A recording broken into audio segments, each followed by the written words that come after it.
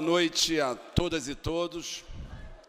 Sob a proteção de Deus, declaro aberta a sessão solene de entrega do diploma Abdias de Nascimento para a deputada federal Benedita da Silva. Solicito ao cerimonial que conduza a homenageada até a mesa da direção dos trabalhos.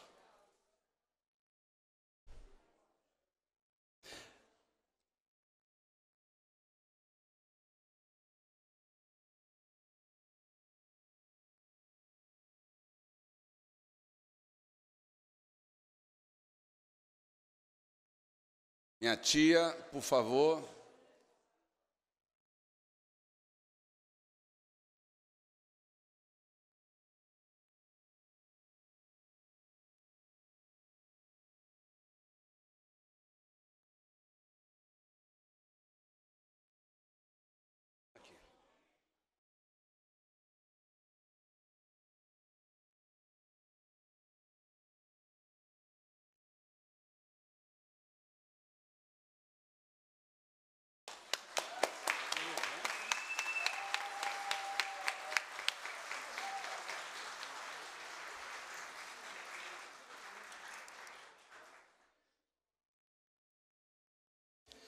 Quero convidar para também compor a mesa nosso amigo, companheiro da nossa querida Benedita, Antônio Pitanga.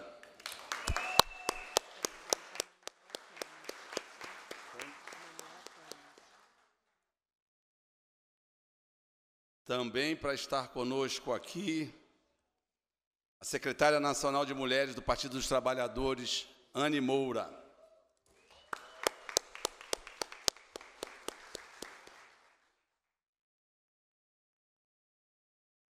Quero convidar a professora Eudésia Alves de Medeiros para estar conosco aqui também.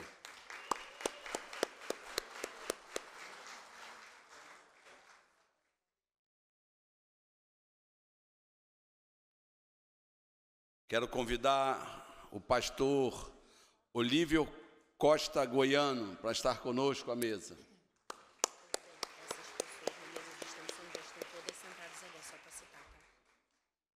O Babalorixá, Dailton Moreira Dogum também para estar conosco aqui à mesa.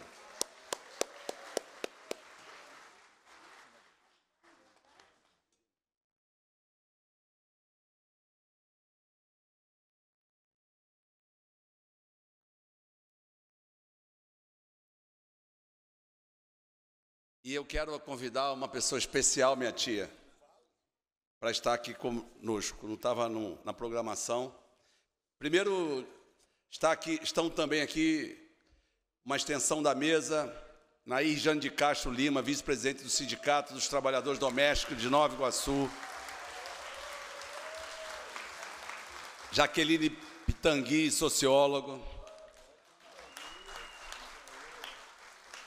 Felipe dos Anjos, secretário-geral da FAFERJ. Serjão Lorosa, Seja bem-vindo, artista, artista e humorista. Vereadora Tainá de Paula.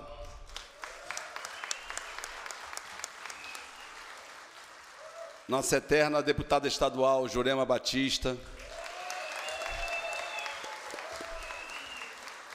Meu amigo, meu irmão, Alfredo Salomão, também senta. Eu queria, minha tia, chamar uma pessoa aqui que eu gosto muito, muito especial. Posso? Manuela Teles, para estar conosco aqui. É uma cadeira, por favor.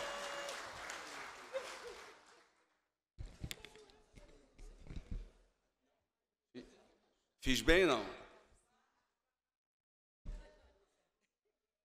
Eu tenho juízo, quem manda é ela.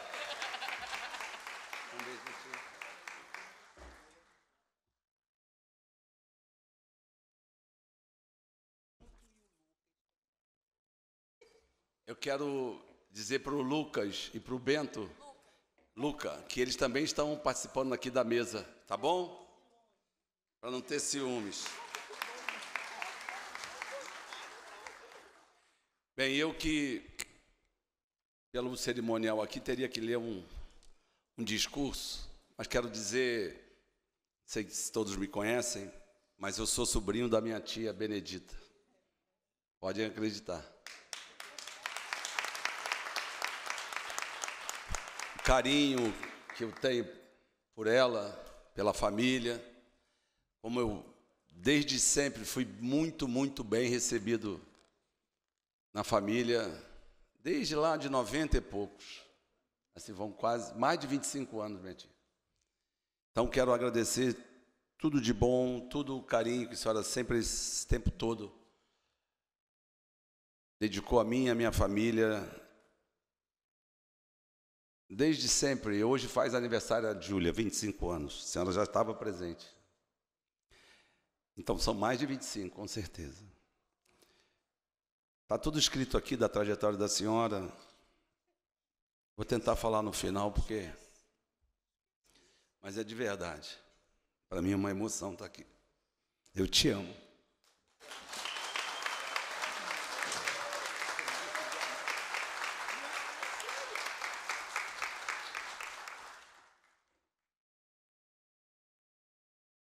Estão conosco Alcina Moura, Alcino Mouro, Moura, sobrinha da Benedito, sobrinho da Benedito, Maurício de Brito, marido da neta Etienne Souza, neta Abelina Gaspar, prima da, da nossa Benedita, Michele de Souza, nora da nossa querida Benedita, a Manuela aqui presente, viu? O Bento, a Ana Benedita, que é a neta, mãe da Manuela, o Luca, Verônica Lima, cadê Verônica que eu não vi? I love you. Maiara Felício, vereadora de Nova Friburgo, também aqui. Estarei lá esse final de semana. Thaís Ferreira, vereadora do Rio. Rodrigo Mondego, procurador da Comissão de Direitos Humanos, OAB Rio de Janeiro. Tiago Santana, nosso presidente do nosso querido Partido dos Trabalhadores do município do Rio de Janeiro. Meu irmão, meu amigo Eloy Ferreira, ex-ministro da Igualdade Racial, presidente Lula. Arnolda Nazaré, diretora da CBF, Ana Paula Soeiro, presidente do Instituto Nelson Mandala, Cláudia Menezes Vitalino, da Unegro, presidente, Nilcimar Nogueira, fundadora do Museu do Samba, meu irmão, meu amigo, deputado Carlos Mink, Andrei Neto, juntamente com a esposa, perdão, Andreia Neto e Adriana Nora.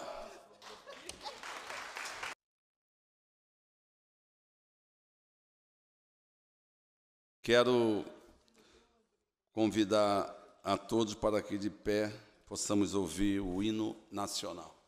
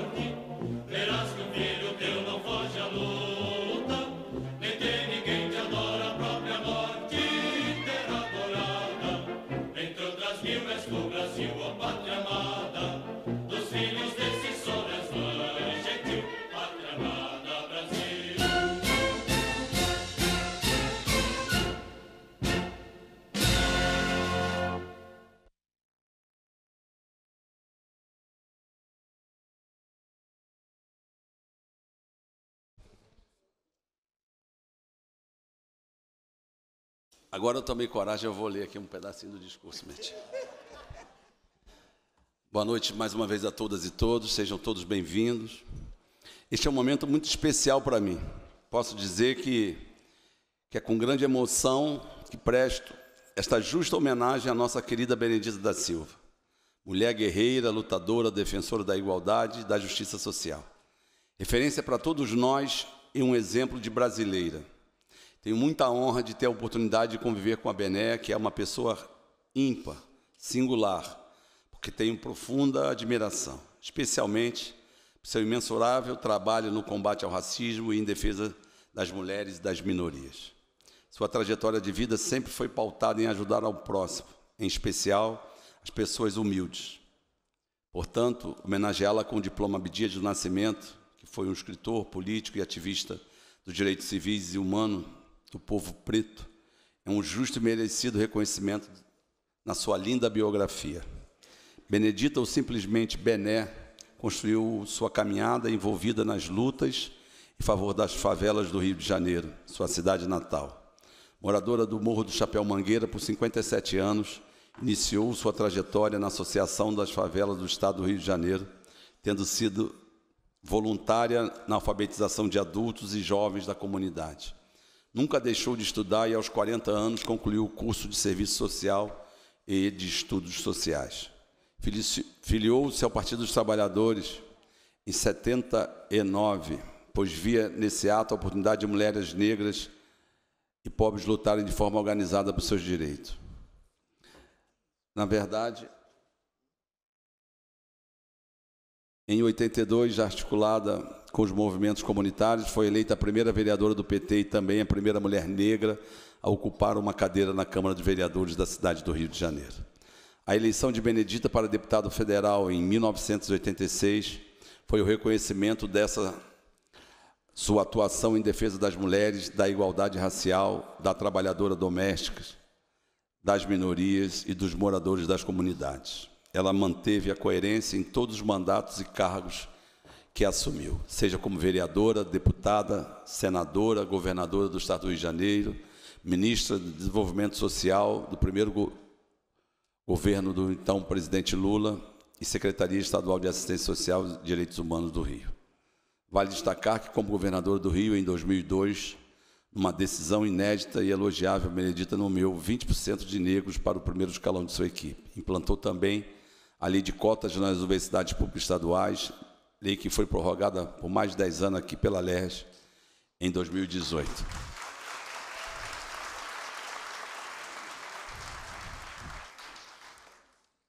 Tanto lá como aqui em 18, primeiro votei, em 18 eu sou autor da prorrogação das cotas. Tive orgulho de participar. Eleita novamente deputada federal em 2010, foi escolhida para ser relatora da proposta de emenda constitucional que ampliou os direitos das trabalhadoras domésticas. Do movimento comunitário do Chapéu Mangueira aos mandatos políticos que exerceu, passando pelos difíceis tempos de infância em que teve de trabalhar nas ruas da cidade para ajudar seus pais a sustentar uma família com 14 irmãos. Benedita sempre se manteve firme no seu propósito, lutar por uma sociedade mais justa e democrática. Recentemente, passou por uma cirurgia delicada enfrenta essa dura dor que todos nós conhecemos. mas se mantém de pé com a cabeça erguida e pelo nobre propósito de seguir ajudando as pessoas através da política. Esta casa recebe de braços abertos Benedita um tributo a essa sua bela história. Nós nos sentimos honrados em poder homenageá-la. Sua trajetória de vida é um exemplo para todos nós. Parabéns, parabéns e parabéns.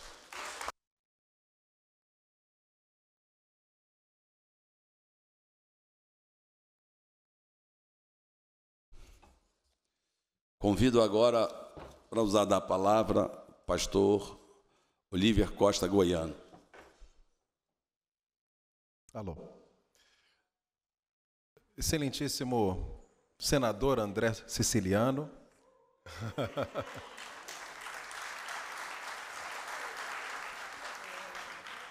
Excelentíssima governadora Benedita da Silva.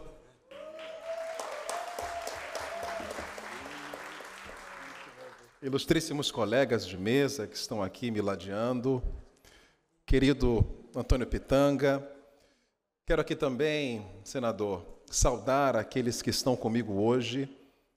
Hoje eu trouxe meu filho, que está aqui, Oliver, e também o subsecretário de Direitos Humanos de Maricá, Marco Aurélio Siqueira Clemente, e o pastor indígena, pastor Valdeci Tupinambá. Hoje, muito obrigado. Eu quero rapidamente, nessa justa homenagem à governadora Benedita da Silva, falar o legado de Benedita da Silva, um pacto civilizatório. E eu não posso começar esta fala tendo ao meu lado Babalorixá Dailton Moreira de Ogum, pedindo perdão, Babalorixá.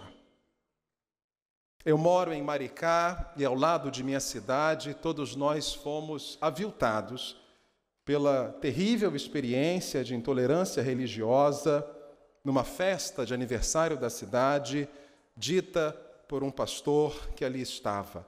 Eu preciso começar esta fala pedindo perdão aos representantes das religiões de matriz africana.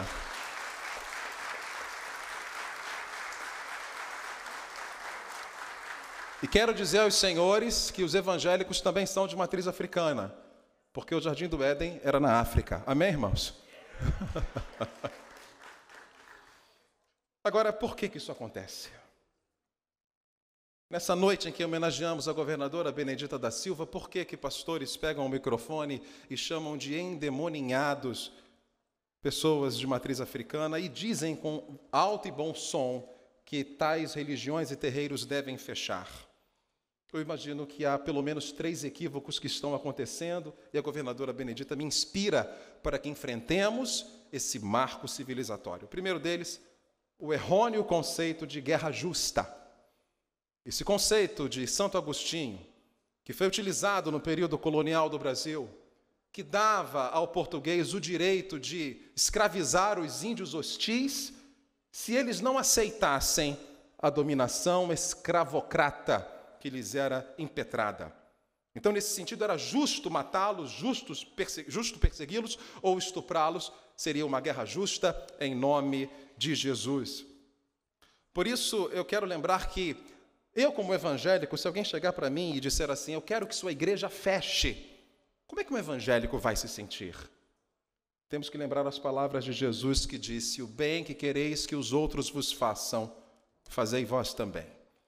Em segundo lugar, eu creio que há um segundo equívoco, que é a apropriação indevida de Deus. Muitos têm considerado os evangélicos arrogantes. Muitas pessoas têm olhado para nós evangélicos como aqueles que se arvoram do direito de ter o monopólio de Deus.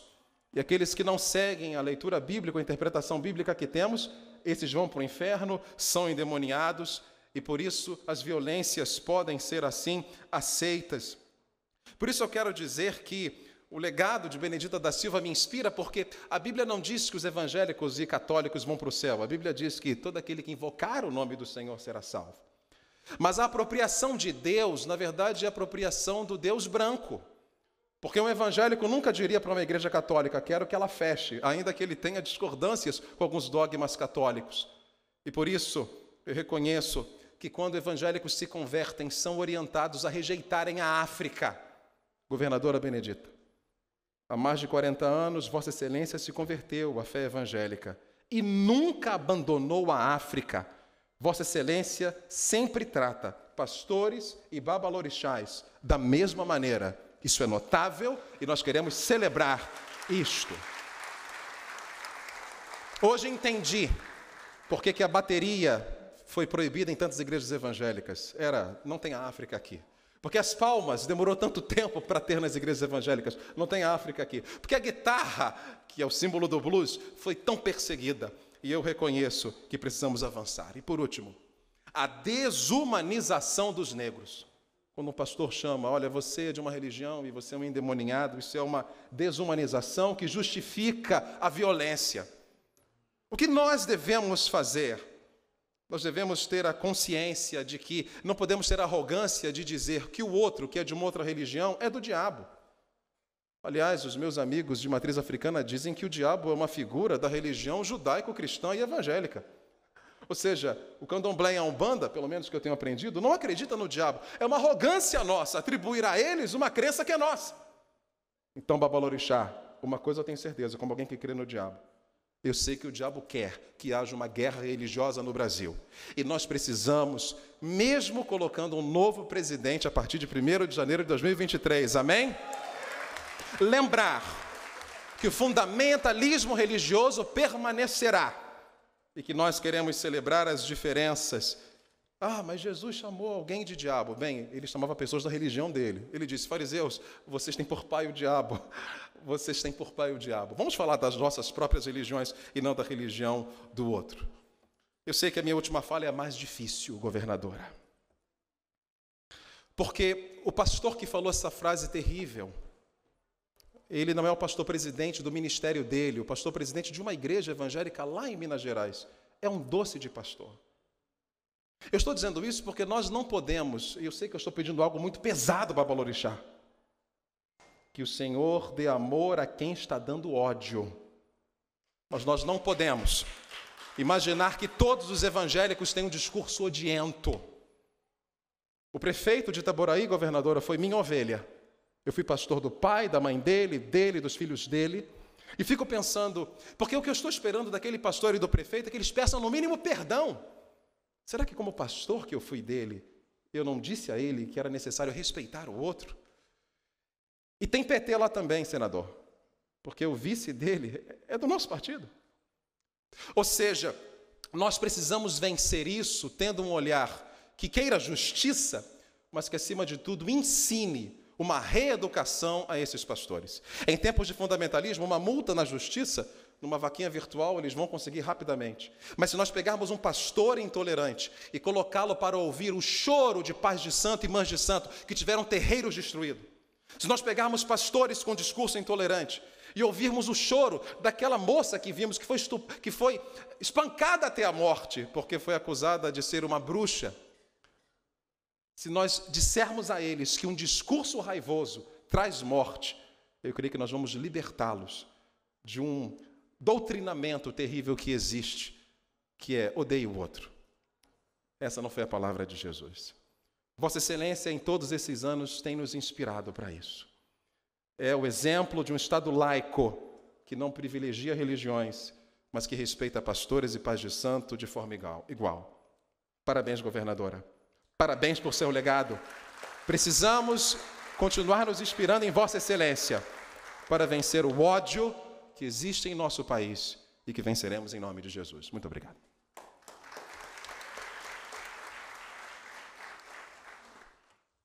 Estão conosco também Luanda Moraes, reitora da UESO. Seja bem-vinda. Bia Nunes, Associação Estadual das Comunidades Quilombolas do Estado do Rio de Janeiro. Carlos Alberto da Silva, chefe de cozinha do Chapéu, Chapéu do Chefe.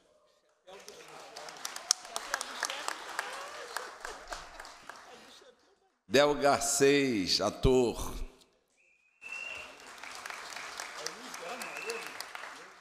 Nancy Rosa de Azeredo, do Núcleo Afro Instituto Tocando em Você. Márcio Madeira da Silva, presidente do Instituto de Pesquisas das Culturas Negras. Queria pedir aqui, pessoa do, do cerimonial, que pudesse fazer chegar a senhora Nair Jane de Castro Lima o microfone.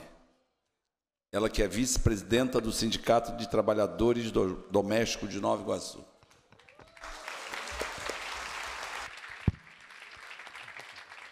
Muito obrigada. Uma boa noite, senhor presidente. Boa noite, minha querida amiga. Eu não, não consigo chamar deputada federal, minha querida amiga Benedita da Silva. Eu estou muito feliz hoje de, nos meus 90 anos, estar aqui. Estar aqui hoje, tendo essa alegria de poder vir dizer Parabéns, Bené. Ninguém melhor que você merece esse prêmio aí de Abdias Nascimento. Eu, você é a grande parceira da minha categoria. Mas foi a minha professora no início da minha militância política, quando eu era trabalhadora doméstica em Copacabana. Você estava sempre ao meu lado, está sempre hoje com a categoria, é uma parceira muito querida para todas nós. É importantíssima na nosso, no nosso trabalho, nas nossas conscientizações, nas nossas falas. Dené é a nossa professora, é a nossa inspiradora. Parabéns, parabéns, parabéns. Muito obrigada pelo prazer que me concedeu ainda hoje de estar aqui vendo você receber mais esta homenagem muito justa e muito boa. Obrigado, boa noite. Estão conosco também Theo Lima, maestro e músico, e Érica Takimoto, nossa querida é Érica. Passo a palavra ao Babalorixá Dailton Moreira Dogum. Bom, boa noite a todos e todas. É um prazer muito grande estar aqui. Saúdo o presidente da mesa, saúdo nossa querida deputada federal Benedita da Silva. Bom, hoje eu já fiquei feliz que eu não fui o primeiro a falar, porque geralmente que tem que é nome letra A, geralmente bota logo a pessoa assim. Então eu, eu gostei muito, pastor, de o senhor ter sido o primeiro a falar. Bom, que a gente geralmente fica falando assim, o que é que eu vou falar sobre Benedita da Silva? Não tem palavras que possam dar conta de quem é Benedita da Silva. Eu já penso totalmente ao contrário, porque ao longo da vida, Benedita da Silva, com seus feitos, suas ações políticas, suas, suas ações coletivas, comunitárias, sindicais, nos deixou exemplos extremamente palpáveis para todos nós. Então não é difícil falar de Benedita da Silva. As ações delas estão bem solidificadas em nossas mentes, em nossos corpos, em nossas almas. Uma mulher que sempre teve o compromisso com o seu povo com sua classe trabalhadora, com sua classe de gênero, com sua responsabilidade por uma sociedade equânime. É esse é um histórico de uma pessoa que foi construindo um edifício com tijolos extremamente robustos para que nós possamos falar sobre ela. E muitas das vezes a gente fala assim: "Ah, eu não sei o que eu vou falar sobre Benedita da Silva, a gente tem que tomar cuidado para que a gente não diminua as nossas referências e não, de, não tenhamos deferências para essas personalidades, essas heroínas negras, esses símbolos e representações constituídas do que são as mulheres negras em nossas vidas, historicamente, politicamente Benedita da Silva é isso. É essa constituição dessa matriarcalidade. Eu vou dizer que mulheres como Benedita da Silva se tornam uma, uma, uma disciplina, uma matrizofia, se é que a gente pode falar assim. A gente se inspira nessas mulheres para poder seguir em frente. E a gente tem esse legado desse aprendizado, aprendizado sábio, que não é da agora. O presidente André Siciliano falou em Bené, tia Bené. Né? Para nós, povos negros, essa palavra de tia tem um significado extremamente poderoso, porque nós somos criados por nossas tias. Né? As tias, que são as irmãs das mães, muitas das vezes as tias, que são irmãs dos pais, é que nos cuida, que nos acolhe, que nesse, nessa, nesse sentido de matriarcalidade vai dando sustentabilidade para essa família preta com suas diversas formas de, de saberes, de ciências, de economia. Então, quando ele, quando ele chamou Bené de tia, eu gostei muito, não achei muito pelo contrário. Porque para nós que somos pessoas de periferia, favelados, de religião de matriz africana, e somos pessoas pretas, as tias têm um papel fundante, constitutivo para nós. A gente olha, nossas tias são nossas ancestrais vivas, elas carregam essas tias anteriores que vão, vão, vão se encarregando de nos passar uma boa ética, bons valores, um bom caráter, que vão se corrompendo para que a gente não se corrompa frente a esse mundo eurocentralizado, individualista, racional, lógico, branco no sentido pejorativo da palavra.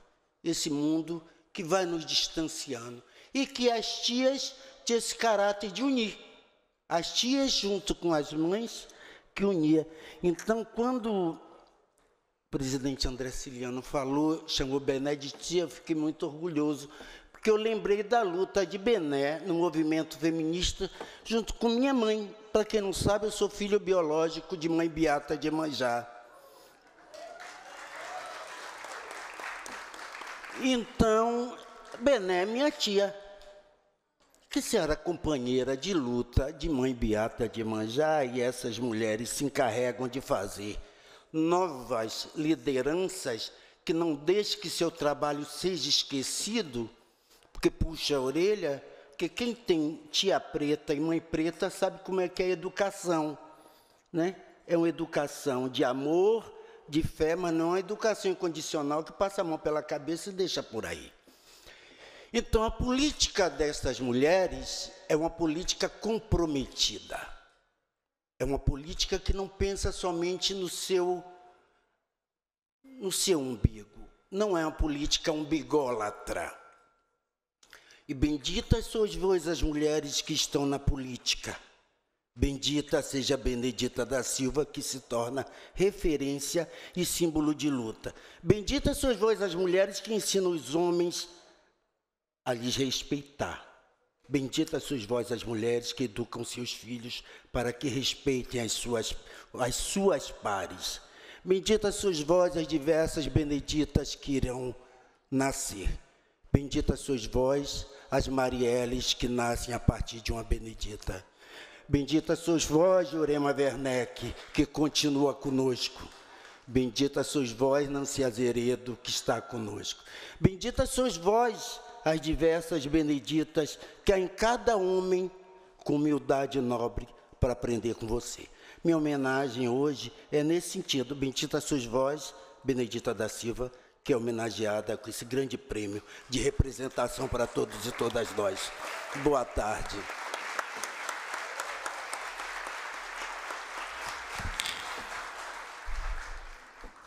Eu quero aqui, Babalorixá, Dailton, dizer que eu, eu nasci numa família, tem cinco mulheres, eu tenho cinco irmãs. Desde cedo aprendi a respeitar a mulher e, mais que isso, obedecê-la, viu, Tainá? Uma palavra nossa querida, queridíssima Jurema Batista. Jurema, quer falar da tribuna? Por favor, vem aqui.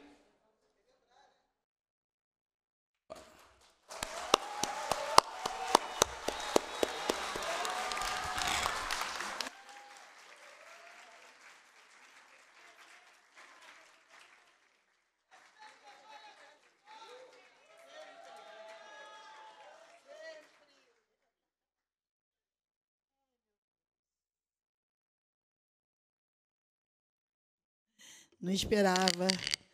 Boa noite a todos e a todas.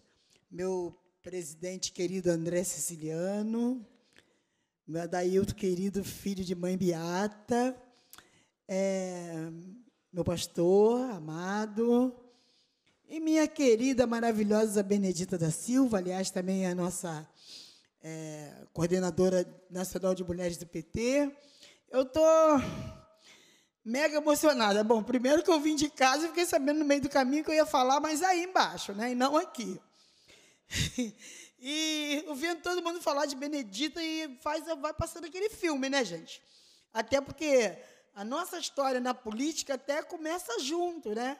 Assim, ela no Morro do Chapéu Mangueira, eu lá no Morro do Andaraí, né? E logo depois, quando Benedita foi eleita em 82, vereadora, eu fui ser assessora dela eu e o Désia. Quem me apresentou a Benedita da Silva foi a Lélia Gonzalez. Boa referência, né? E, e eu olhei para ela, estava tendo um, um, uma, um encontro do PT na Câmara Municipal. Eu olhei aquela mulher grande, falei, meu Deus, o que me chamou a atenção que ela era muito grande. Aí me disseram, ela, ela, ela milita na questão também das comunidades no jornal Favelão, e já houve de cara uma identificação. E a luta foi chegando, né, teve eleição, ela foi eleita, eu tinha sido candidata, não fui, e fui ser é, é, assessora da Bené, né? Gente, vocês não têm noção do que é essa mulher, não, viu? assim, é, é, abusadamente falando. Porque uma coisa é, é, é ver Bené, né? Discursando, falando, outra coisa é ver a intimidade da Benedita da Silva que é, acho que ela até demonstra assim, né? Esse aconchego com a família que ela tem, eu acompanhei com as irmãs dela, que algumas já partiram, né? Com a família, é, a Benedita é uma pessoa, é, ela cuida do, da política e cuida da família com maior esmero, né? Mas falando da Benedita política, da contribuição da Benedita para a nossa história, eu digo que eu sou produto dessa construção. Como nem vou citar o nome de todo mundo, que é para não, né, não ser é, pagar mico, como diz a juventude. Mas assim, é, eu pude me espelhar. Quando a Bené é eleita vereadora, ela prova para cada uma mulher preta que historicamente não tínhamos condição nenhuma de estar sentada na cadeira da Câmara Municipal, onde só tinham filhos de fulano, filho de Beltrano, mulher de fulano, mulher de Beltrano, como? A Benedita, empregada doméstica, e eu, filha de empregada doméstica, sem herança, o meu, nome também é da Silva, tá? Ela é Benedita da Silva, meu também é da Silva. Mas como a gente tinha um perfil parecido, aí eu usei o Batista, que o meu Jurema, Jurema da Silva Batista. Aí fiquei usando mais o Jurema Batista, que já confundem a beça. Eu pego o aplicativo, o pessoal fala, você é Benedita. fala, eu sou a Jurema Batista. E, e, e, foi assim, né? Toda uma trajetória que impulsionou outras mulheres a quererem também ocupar esse espaço, mas não como querer ocupar, ocupar por ocupar, mas ocupar para fazer a diferença. E é isso que Benedita é.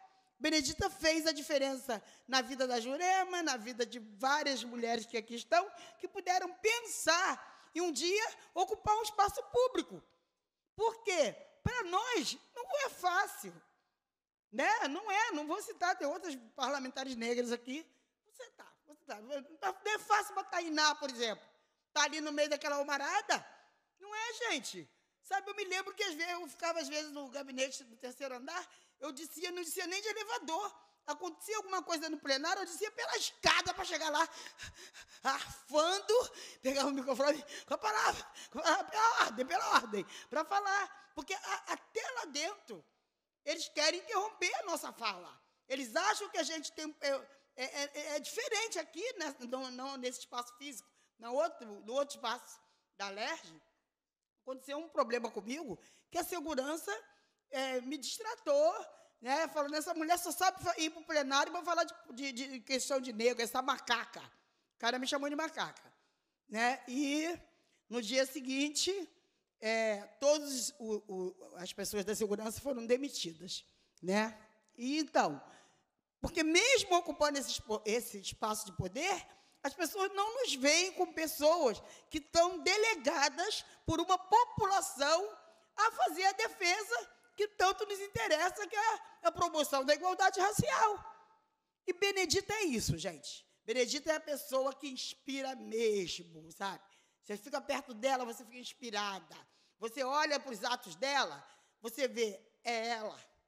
É ela, é nega Bené, né? Tem gente que chama de Bené, de Benedita. Né? Para mim, é, ela, é, ela é essa pessoa que me impulsionou. Eu tive três mandatos de vereadora, um mandato, né, não nessa casa, de deputado estadual na LERJ, e tudo inspirado nos passos de Benedita.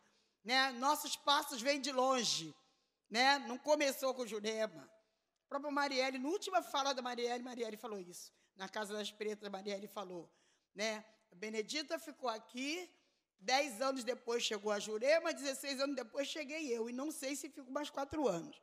Não ficou nem mais quatro horas que ela foi assassinada. Então, a Marielle, inclusive, ela tinha percebido isso. A falta da, da mulher preta para ocupar espaço de poder. E eu fico assim, muito feliz, sabe, de ter aqui nessa casa um companheiro. Eu fui no aniversário de um ano da tua filha. ter é, o nosso querido deputado André Siciliano, que tem essa visão né, de dar esse diploma para a Benedita, não, tá, não é à toa, ele sabe o significado da Benedita para a população negra do estado do Rio de Janeiro, para a população que vive em situação de calamidade, por causa da chuva, por causa da fome. Então, gente, é uma coisa assim que me deu muita emoção de estar tá podendo falar, né, e dizer para vocês, gente, a gente, a, a história da Benedita não acaba aqui. Temos muita estrada pela frente. Eu digo que temos, eu digo que temos, porque eu estou com ela nessa caminhada. Eu estou com ela nessa caminhada e convido vocês todos que ainda não pensaram na responsabilidade que significa ter uma mulher preta no parlamento a continuar caminhando conosco para que nós possamos romper em fé. Romper com fé, com toda a fé, com toda a coragem para vencer o racismo, as atrocidades, a intolerância religiosa, tudo que venha contra ser humano. A luta pelos direitos humanos. Benedita, meu total agradecimento por você ter feito, feito da Jurema do Andaraí a Jurema Batista, ter me ajudado a construir a Jurema Batista. Tá, Bené? Muito obrigada. Muito obrigada, meu, meu presidente, por essa homenagem mais que merecida para essa mulher, que representa tudo para nós, tudo. Tudo que. Olha, gente, eu fico vendo, né, tudo que está acontecendo aí, não sei o que, colorismo. A, a, a, juventude, acho que muitos até ainda nem conhecem a Benedita. Porque tem gente que está achando que está inventando a roda. Coisa que a gente já fez há 300. Coisas que a gente já fez. Coisas que a gente já fez há, há 40, 50 anos atrás, o pessoal tá, acha que está inventando a roda. Não conhece a nossa história. Vai para a universidade, mas lá não tem material biográfico que fale de nós. Estuda na cartilha da população branca, não na nossa escola, né, professor? professor Salomão foi meu professor na especialização de políticas públicas. E, mas e a, e a, a gente não tem referência como Lélia Gonzalez, da universidade.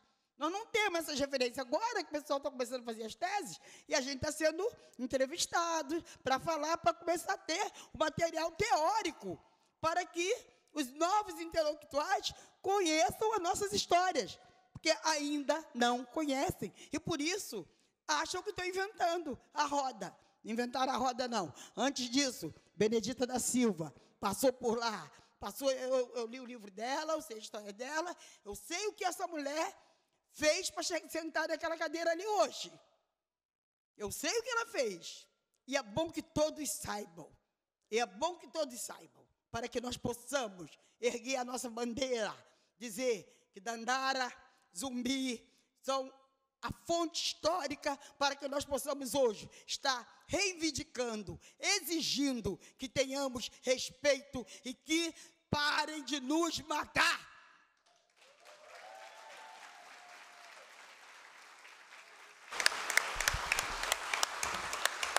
Com a palavra, professora Eudésia Alves de Medeiros.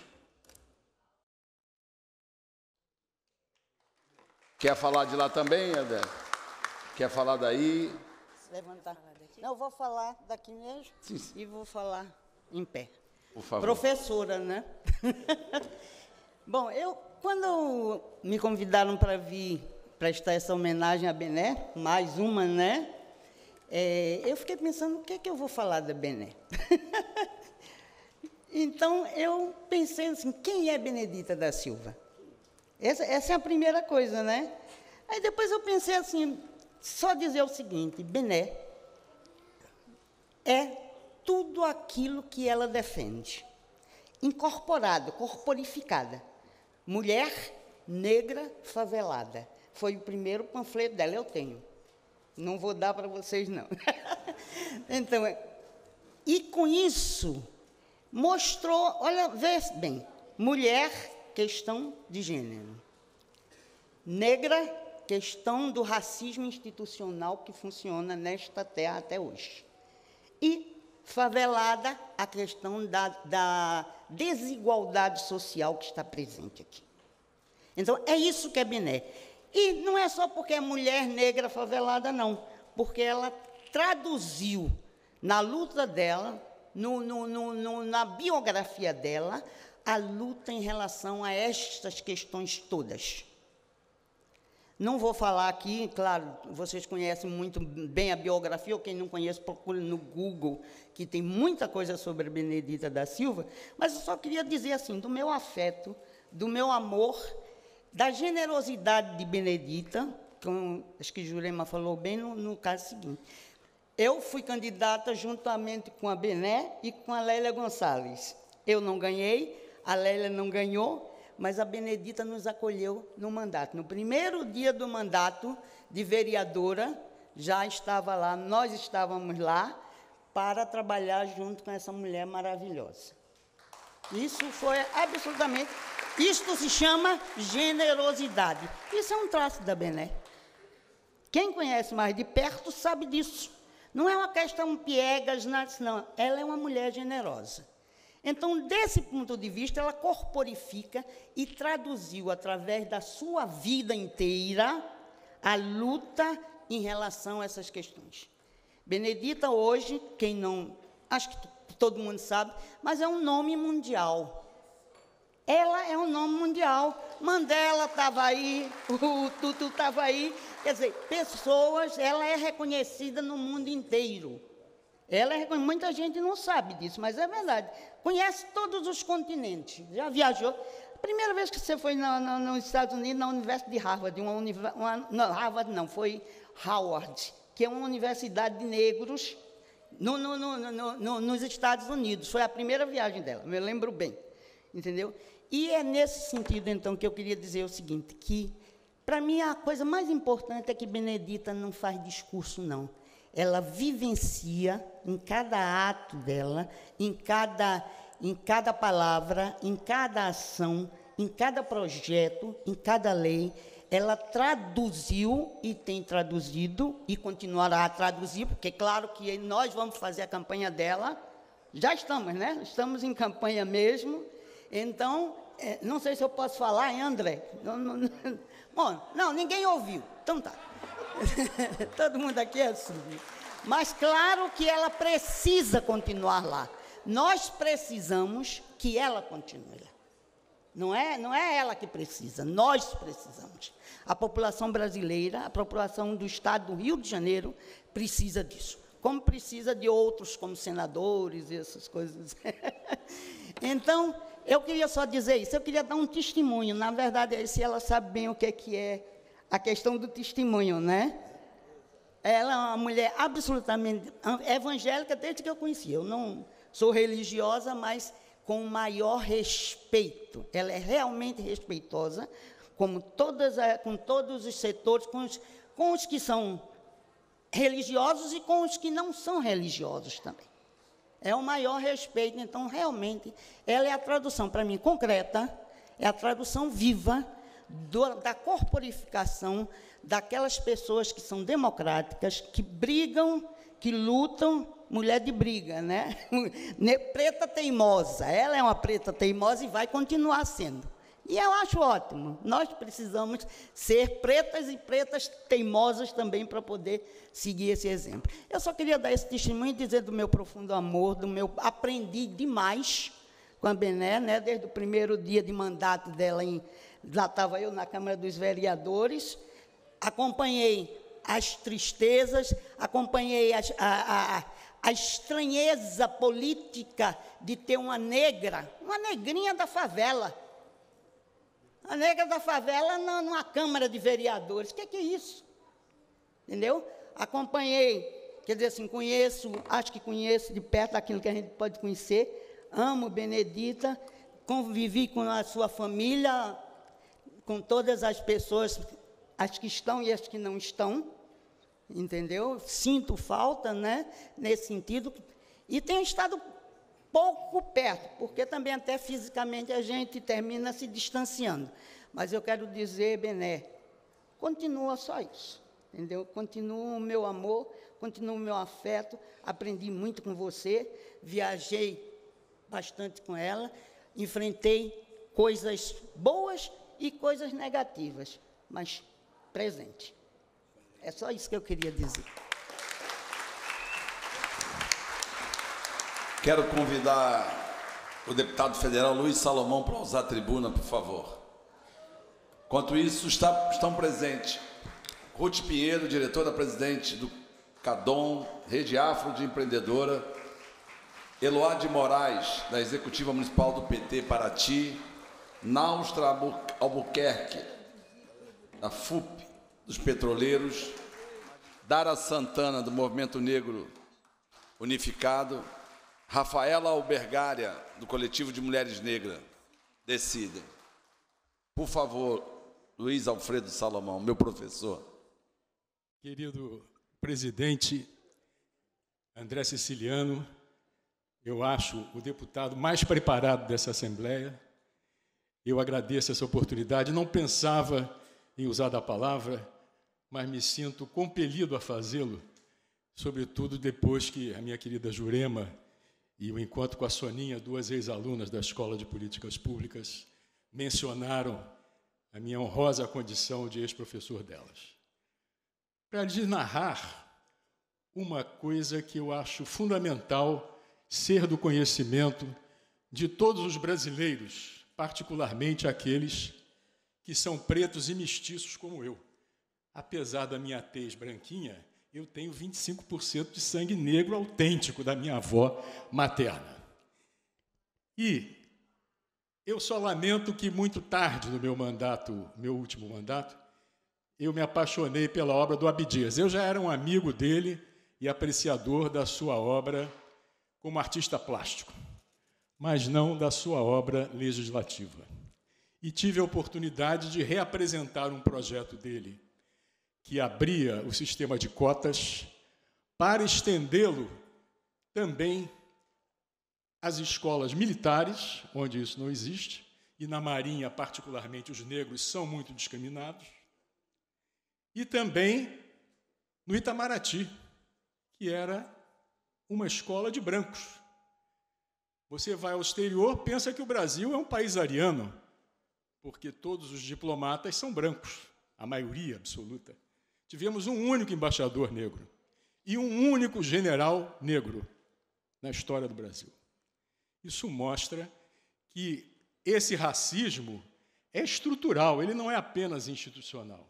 Ele está incrustado nas instituições e impede que os negros tenham as oportunidades que merecem de mostrar o seu talento, de mostrar a sua capacidade. Mas o que eu vim falar não tem nada a ver com isso. Apenas dizer que lamento ter começado tardiamente a estudar a questão do racismo. E acabo de escrever um livro, acabo não, já acabei esse livro há mais de um ano, que dediquei um capítulo à questão do preconceito social, não apenas racial, mas ao preconceito social, porque as mulheres fazem parte dessa faixa discriminada não pela condição da pele, mas pela condição do seu sexo. Então, nessa investigação para fundamentar o livro, cheguei a duas conclusões. Primeiro, é que o Brasil pode ser dividido em três camadas. Uma primeira camada que tem renda estável e razoável, que é a classe média, que a maioria de nós aqui faz parte. Depois tem uma segunda camada, de 70 milhões também, que é de brasileiros que têm renda estável, porém muito baixa. Por quê? Porque não têm produtividade, não tiveram a oportunidade de estudar e serem produtivos. É um sistema educacional também discriminatório. E, finalmente, uma terceira faixa das pessoas que não têm renda estável, que vivem de biscates, que vivem de bolsas e auxílios emergenciais, que não têm resolvido essa questão. Então, lá no livro, defendo essas políticas públicas para resgatar gente dessas duas parcelas da população que não são pequenas, são 70 milhões em cada uma. E se isto acontecer, meus amigos e minhas amigas, nós vamos ter o Brasil dobrado de tamanho. Se essas pessoas forem incorporadas ao mercado, ao invés de 70 milhões, teremos 140 milhões. O que significa dar ao Brasil uma dimensão que ele merece, mas que não tem. Não tem por força da miopia das elites brasileiras e desse dessa trava, desse freio ao nosso progresso, que é o preconceito. Mas agora chego na fase final para lhes contar uma coisa que talvez seja o maior fracasso em matéria de políticas públicas que já existiram historicamente no Brasil e que essas alunas queridas que aqui estão não conheceram porque eu não sabia. Eu fui estudar.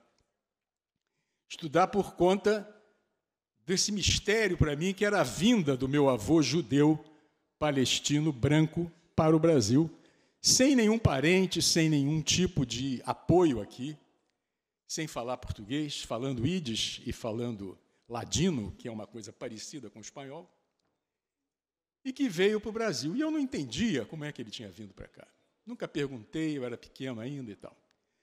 Mas descobri recentemente, na pesquisa para esse livro, que em 1901 o então presidente Hermes da Fonseca, marechal, não era capitão, era marechal,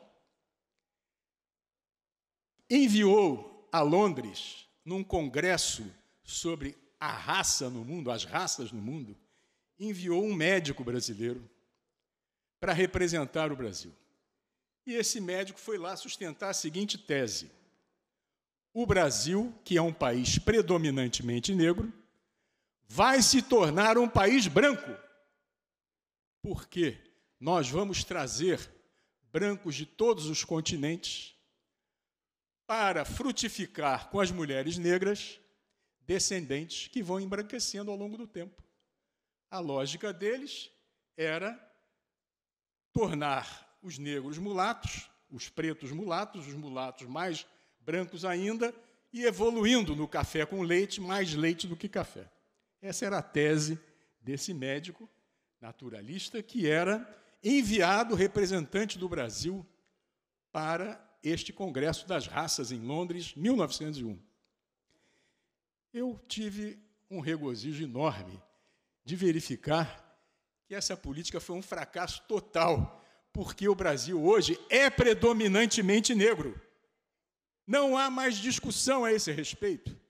A partir do momento em que o IBGE passou a classificar a população segundo a autodeclaração, muita gente que era negra e se dizia branca passou a se dizer negra. E, por conseguinte, hoje nós temos 57% dos brasileiros são negros. Esse país é majoritariamente negro.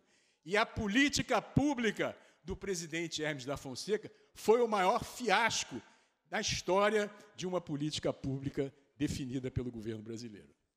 Salve o erro histórico que essa gente cometeu e viva a nossa esperança de que essas políticas públicas absurdas que este governo federal que aí está tem baixado vão também para o mesmo lixo da história que foi a política de Hermes da Fonseca.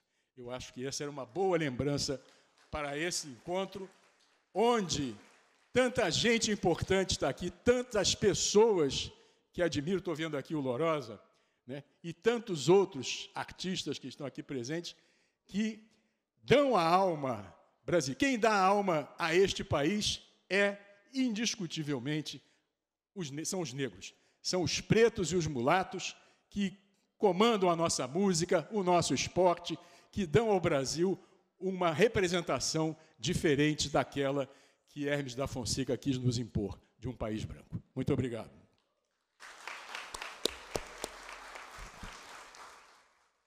E lembrar que hoje perdemos o nosso Milton Gonçalves. Queria convidar para fazer uso da palavra o secretário-geral da FAFERJ, Felipe dos Anjos.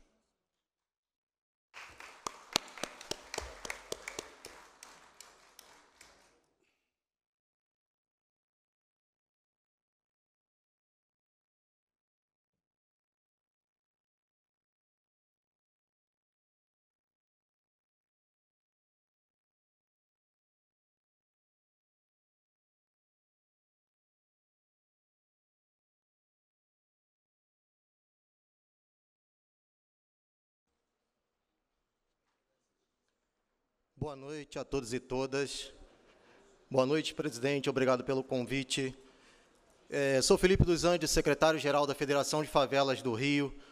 Bené, em nome do Rocino, é, essa homenagem muito linda. Estou aqui representando a FAFERJ e o Rocino, a Federação de Favelas. Falar de Benedita da Silva é falar de um verdadeiro mito. Hoje, na política brasileira, existe um político que se define como mito ou definiram como mito que de mito não tem nada. Verdadeiro mito está aqui ao meu lado esquerdo, Benedita da Silva. Mulher negra da favela, fundadora do grupo de mulheres da FAFERJ. A FAFERJ é uma instituição que foi criada em 1963 da qual Benedita da Silva é uma das fundadoras e organizadoras do grupo de mulheres da FAFERJ. Instituição que enfrentou a ditadura militar, instituição que voltou da clandestinidade no período de redemocratização do Brasil. Período de redemocratização do Brasil, onde Benedita da Silva, por exemplo, foi a única mulher na mesa diretora da Assembleia Nacional Constituinte.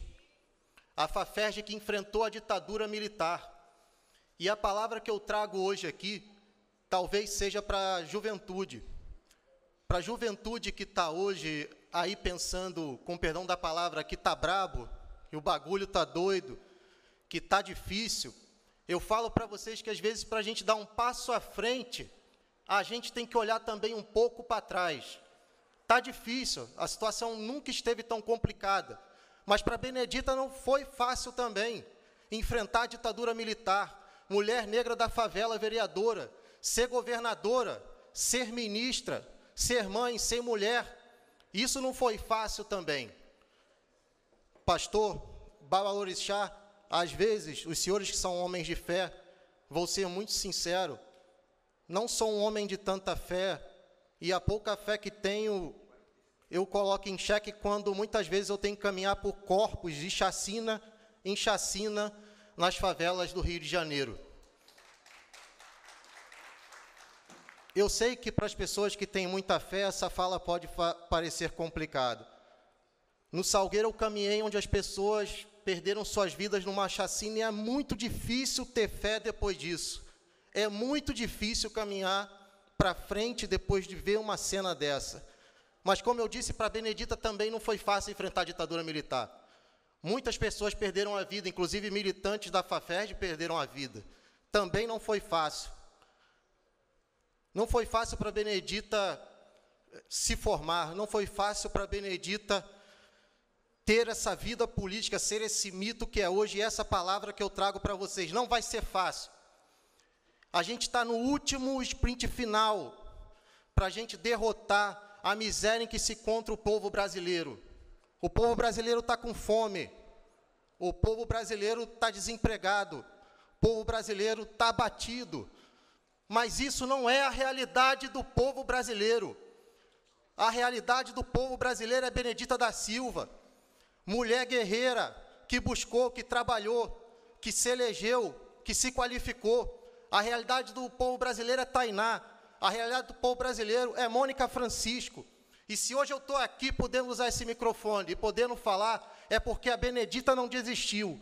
E apesar, pastor e Baborixá, de ter pouca fé, eu não posso desistir, eu não vou desistir e eu não vou me entregar. Nós temos agora que dar a mão a Benedita e Lula e devolver a dignidade para o povo brasileiro.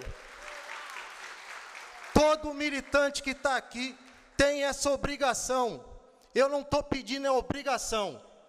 O militante, quando decidiu se tornar militante, ninguém foi na casa de ninguém buscar para militar. Foi algo do coração, vocês sentiram algo. Sentiram algo quando vê um cidadão brasileiro catando lixo para comer. É esse sentimento que tem que motivar. É esse sentimento que a gente tem que ter. Força. Força. É a última força que a gente precisa ter para derrotar o bolsonarismo, para a gente acabar de vez com tudo que está acontecendo no nosso país, onde um homem negro recentemente foi colocado numa câmara de gás dentro de uma viatura da Polícia Rodoviária Federal. Isso precisa acabar, eu sei que é difícil, eu estou cansado também.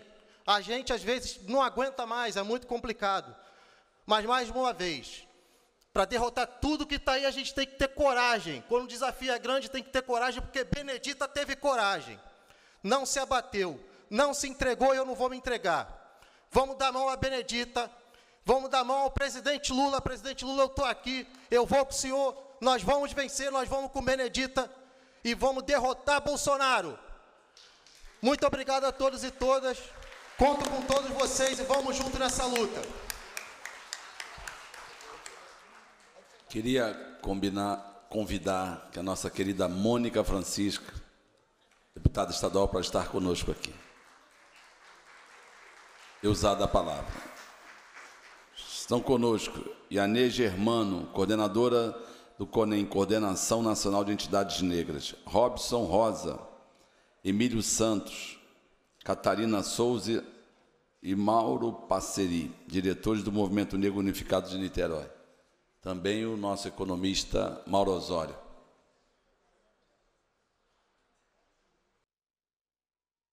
Muito obrigada, presidente. Eu quero primeiro parabenizá-lo por essa homenagem. Já falei aqui no plenário, no dia que aprovamos, é, da sensibilidade e do tamanho dessa homenagem, porque Vossa Excelência une dois gigantes, né? O senador Abdias, a nossa grande liderança, uma das nossas grandes lideranças, e Benedita da Silva, minha querida Benedita da Silva, mestrona, nossa referência. É uma emoção ver você aqui e ver Jurema na minha frente. Você que respeitosamente sempre diz, minha pastora, eu sei obedecer hierarquia e sempre eu te abençoo. Mas nessa noite eu quero dizer, presidente, eu queria ficar ali no cantinho ouvindo, já me emocionei várias vezes, porque uma das nossas grandes referências são as nossas primeiras mestras, as nossas mães, avós, que nos ensinam o respeito, a hierarquia, não no sentido militar, né, que está muito presente hoje em dia no nosso país, infelizmente, mas no sentido de respeitar quem veio antes, quem construiu a caminhada quem ensinou. E hoje a gente reverencia sua figura, Benedita, como alguém que vai estar sempre na memória daquelas mulheres como nós, como eu, favelada, preta, que não conhecia minha mãe biológica, que fui criada pela minha avó paterna, lavando roupa dentro do Rio Maracanã, subindo e descendo o morro, como você, lá no Chapéu Mangueira, com a lata d'água na cabeça, correndo atrás e na frente para dar dignidade à família. Quando a gente olha para você, a gente vê a dignidade em pessoa. Quando a gente olha para você, a gente vê uma força, a gente vê uma, uma energia. E a gente sabe de onde vem essa força, de onde vem essa energia, de onde vem essa garra e onde vem a certeza de que venham os desafios que vierem, a gente sempre vai encontrar resposta para eles. Eu quero dizer, Benedita, que para além de referência, de referencial, eu lembro muito do respeito imenso que a Marielle tinha por você e por você, Jurema. Ela sempre dizia: a gente não pode mais deixar que tenhamos um espaço tão grande de tempo sem que mulheres negras ocupem o espaço do poder.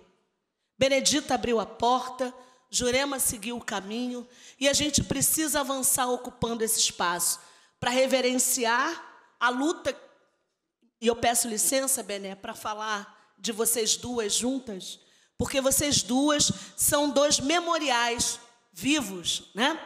Para que a gente continue seguindo, continue firme, apesar das lutas, das violências que sofremos todos os dias, da desqualificação. Quando olham para nós, de fato, não nos veem com capacidade de ocupar o lugar do poder, nos confundem, trocam os nossos nomes não sabem a força que temos. E com certeza, se há um processo revolucionário, ele está na mão das mulheres negras. A transformação e a revolução, caminhando para o projeto de sociedade que a gente acredita, certamente virá pelas mãos das mulheres negras. E você, Benedita, é uma das nossas maiores referências. Você é revolucionária só por existir, só por estar aí, sentada, você, como uma rainha, né? O que você é. Eu agradeço, presidente, pela oportunidade de falar. Eu realmente estou muito emocionada, não, não esperava falar. Mas dizer que você merece muito mais. E para finalizar minha fala, lembrando Provérbios 31, né? Mulher valorosa, quem achará? O seu valor excede ao de rubis. Não é quantificável o valor de mulheres como vocês. Não tem como mensurar. Vocês são essenciais, são fundamentais no papel que exercem, no lugar que ocupam, na memória das dores, das lutas que trazem no corpo e do ensinamento que nos dão como griots que são. Benedita da Silva, toda reverência, todo o respeito. Obrigada pela generosidade de ainda continuar lutando por nós. Obrigada, querida. Obrigada, presidente.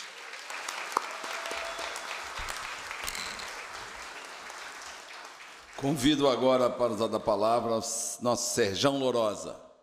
Por favor.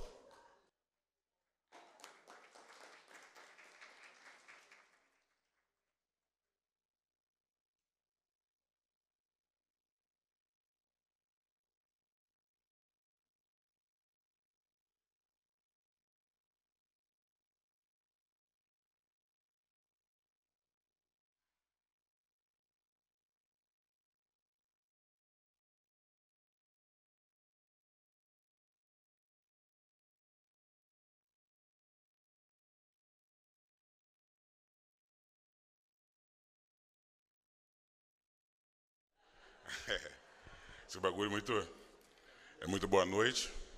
Não sei o que, não sei o que lá, que é bagulho de protocolo. Vossa Excelência, não sei o que. Tem esse bagulho, tem que falar aqui, tu chega, porra. Já dá até um certo poder, assim, só ficar aqui e falar assim, porra, mané. Tô gostando dessa brincadeira. Mentira, não gosto não.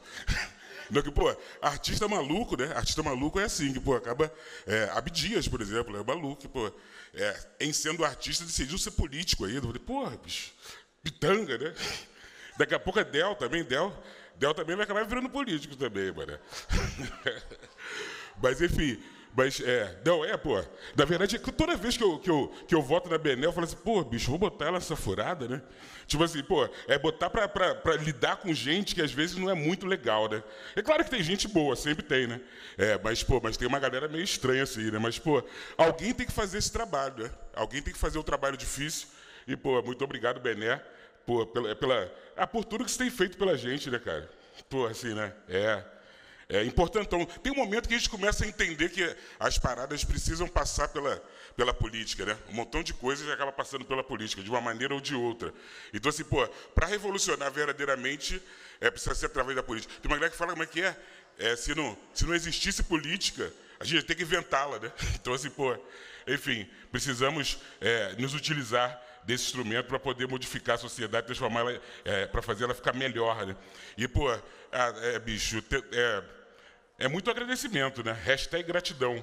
Na rede tem isso, hashtag gratidão é meio brega, né? Hashtag gratidão. Brega não, brega é coisa de velho. Agora é cringe, né? Então, pô, é, é hashtag gratidão. Mas é assim, é muito obrigado mesmo, assim, né, cara, por tudo que você tem feito pela nossa coletividade. Principalmente assim, pô, é, é, e por misturar Abdias com, com Benedita é um bagulho que é muito louco e que, pô, e que dá muito é, é, é, muito orgulho, porque muitas coisas que você fala, né, como, a, como a Jurema, Jurema falou, o Jurema, Jurema falou que, pô, que é confundido com a Benedita, né? eu sou confundido com pitanga, mano, de vez em quando. Porra, benza a Deus, né, compadre? Tá ligado? É, mano. Mas, pô, mas, é, mas esse bagulho assim, né? Muito antes de, das paradas, algum, algumas pautas dessas que hoje em dia viram moda, né?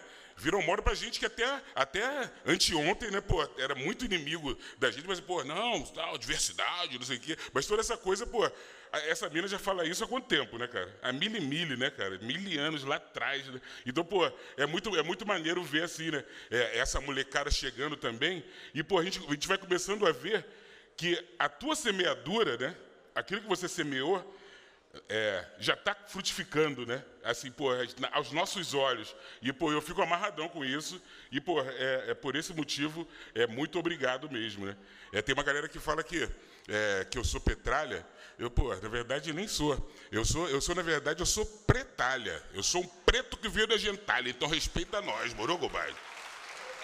Esse bagulho. E, pô, é, é, é, é tem, um, tem um bagulho de protocolo aqui, não sei o quê, que não pode não podia cantar a música do Martinho. Aí, pô, eu queria pedir agora, pô, é que vou quebrar a porra toda, né? Porra, me deram mole de subir aqui, mas agora me tira. Chama segura. Não, chama não. mas é, pô, é, é, uma canção que, na verdade, que, que eu venho é, fazendo para homenageá-la. Né? Mas que é Benedita, Benedita, eu quero te homenagear. Benedita, Benedita. Eu quero te amar. Vocês, Benedito. Que beleza! Benedita, Benedita. Eu quero te homenagear. Deus te abençoe sempre cada vez mais. O orixás te protejam. Esse bagulho, nega. Tamo junto. Muito obrigado.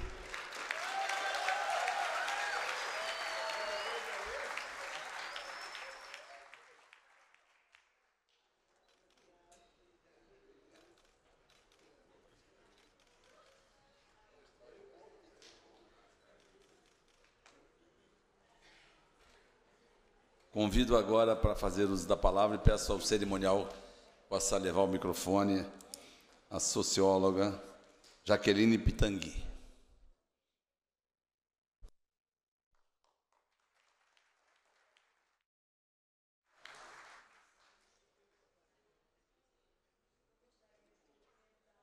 A mesa do deputado André Siciliano e gostaria de cumprimentar a Manuela e ao cumprimentar a Manuela, eu queria cumprimentar, cadê a Manuela? Eu queria cumprimentar todas as meninas do Brasil, porque a Bené trabalhou por elas, né? A Bené trabalhou pelas meninas do Brasil, então a Manuela, com a sua bisavó, vai continuar essa caminhada. Queria cumprimentar também o Pitanga e dizer da minha alegria, Bené, de estar aqui, estar aqui conversando com você hoje, celebrando a tua vida, porque há 40 anos nós estamos caminhando juntas. Tem 40 anos que eu tenho a honra, a alegria de conviver com Bené. Nós convivemos muito no processo constituinte. Eu no Executivo, no Conselho Nacional dos Direitos da Mulher, Bené, deputada constituinte, a primeira mulher negra deputada constituinte desse país. A gente trabalhou muito pelos corredores, traçando estratégia e inscrevendo os direitos das mulheres na Constituinte. Então, Bené, ter trabalhado com você nesse momento é uma das coisas mais importantes na minha vida, na minha memória. Mas o que me emociona é estar aqui hoje falando com você, com a minha amiga. Né? Nós viemos de mundos diferentes e nos encontramos nos valores, na missão, no propósito e na luta. Me foi dado dois minutos apenas, me foi, inclusive, reforçado. Como é que eu posso falar da Bené e de uma amizade de 40 anos em dois minutos? Então, eu pensei o seguinte: recentemente, com outra amiga nossa, Branca Moreira Alves, nós publicamos um livro chamado Feminismo no Brasil Memórias de Quem Fez Acontecer. Bené fez acontecer. Ela deu um depoimento lindo, vários depoimentos para esse livro. Mas eu quero ler um depoimento da Bené aqui, que está no livro. Então eu leio. São palavras da Bené. Um dia histórico, você sabe, sabe que naquela hora de verdade eu não conseguia enxergar o plenário. Sabe o que eu tinha na minha frente? A minha mãe, com um lencinho amarrado na cabeça e naquele momento eu até me emociono. Eu queria tanto que ela estivesse viva. Eu queria tanto, porque aquela mulher sofreu tanto, tanto. Ela sofreu tanto que ela merecia ver a filha dela aí, ela merecia. A filha dela estava presidindo o Congresso Nacional Constituinte.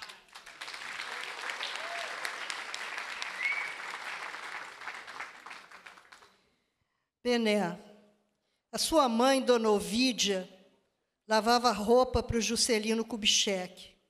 E Bené, menina, entregava roupa no apartamento dela, apartamento dele. Mas lá ela via a Márcia, a filha dela, e aquela boneca grande num berço que balançava que você queria. Você sonhava com aquela boneca. Eu tive a oportunidade de ver um dos primeiros encontros de Bené e Márcia em Brasília. Bené e Márcia eram deputadas constituintes. Bené, você chegou lá, você continua lá.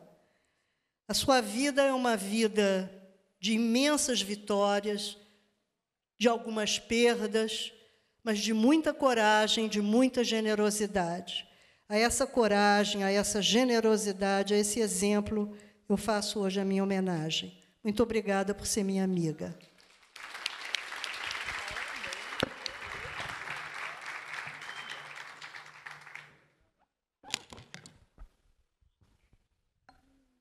Bom, agradecer aqui ao presidente que me deu a oportunidade de convidar para falar essa mulher incrível que eu admiro imensamente, que é uma das melhores parlamentares que nós temos hoje na Câmara de Vereadores aqui da cidade do Rio de Janeiro, a nossa querida Verê, essa negona que quebra tudo, Tainá de Paula.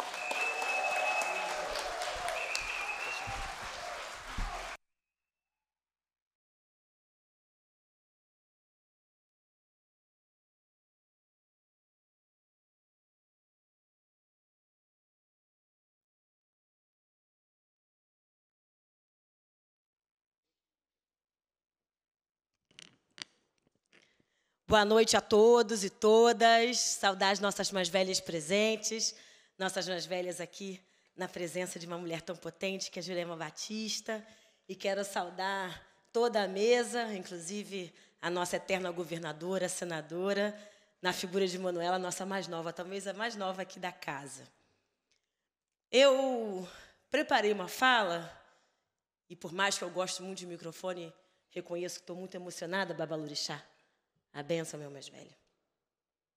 Porque a Benedita da Silva, ela simboliza para mim alguns sentidos.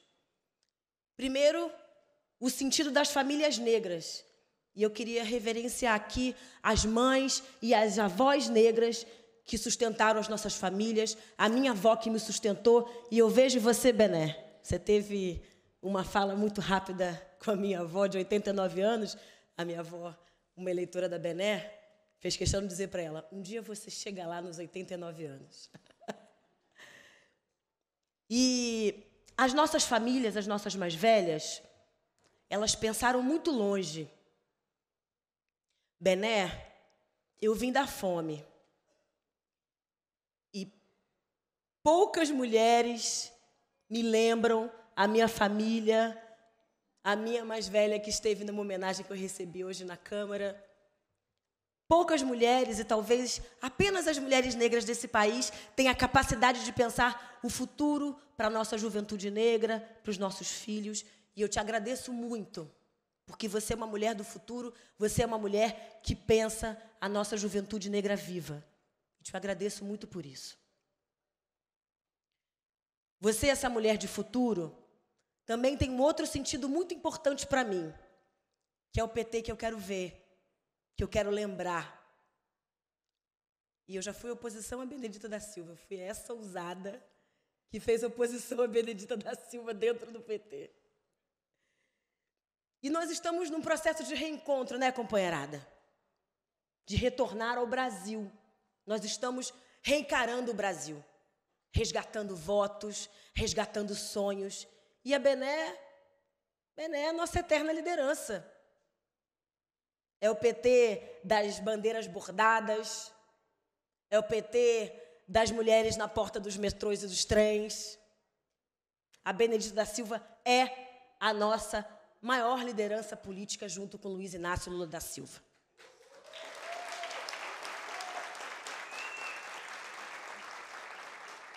E a Bené tem um sentido de pensar esse Brasil que a gente está construindo em 2022. Que não pensa só a gente vivo. Não pensa a gente só nos parlamentos. A Bené, a nossa Bené, não é aquela apenas que olhou para mim, uma liderança negra do movimento negro no movimento de mulheres da cidade, e ousou dizer: esta menina será parlamentar. A Bené é o nosso Annan. É a nossa Kamala Harris. É o nosso Obama. A Bené é a nossa França, que será a vice-presidenta da Colômbia. A Bené é o Brasil que a gente quer ver construído e printado, impresso no futuro de reconstrução, de uma trajetória que está atrelada não apenas ao que o PT fez e construiu, mas ao que o PT e todos nós que estamos aqui estamos construindo e produzindo. Bené, obrigada por ser e me tornar a sua mais nova, minha mais velha. E por ser tão grande e generosa. Uma frase famosa minha que ficou carimbada e gravada na mente de todo mundo é que quem não tem generosidade na política morre. E a Benedita da Silva, meus caros e minhas caras, já é e sempre será eterna. Lula lá e Bené aqui.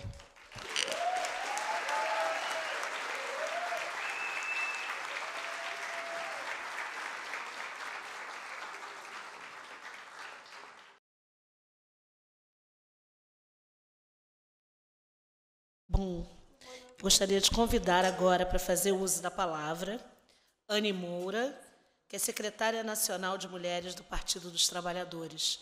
Anne, você tem a palavra. Obrigada, deputada. Quero. E só com uma coisinha aqui, uma correção da nossa mestrona aqui, da nossa referência, desse totem ao meu lado direito, e das trabalhadoras. Isso. Eu ia falar, deputada. E das trabalhadoras. Boa noite, companheiras, companheiros. Quero saudar aqui toda essa mesa em nome do nosso presidente, nosso querido André, e futuro senador, viu? Registrar aqui. Eu também, como todo mundo, estou muito emocionada. Travessei aí o país para vir aqui é, falar nessa homenagem, nessa linda homenagem, André, que você presta hoje para nossa querida Bené Benedita da Silva, nossa deputada. Mas eu trago comigo, Bené, o carinho e o abraço de todas as mulheres do PT do Brasil. Você sabe o quanto você é amada por todas elas e com toda certeza elas gostariam de estar todas aqui. Então receba essa energia do país todo.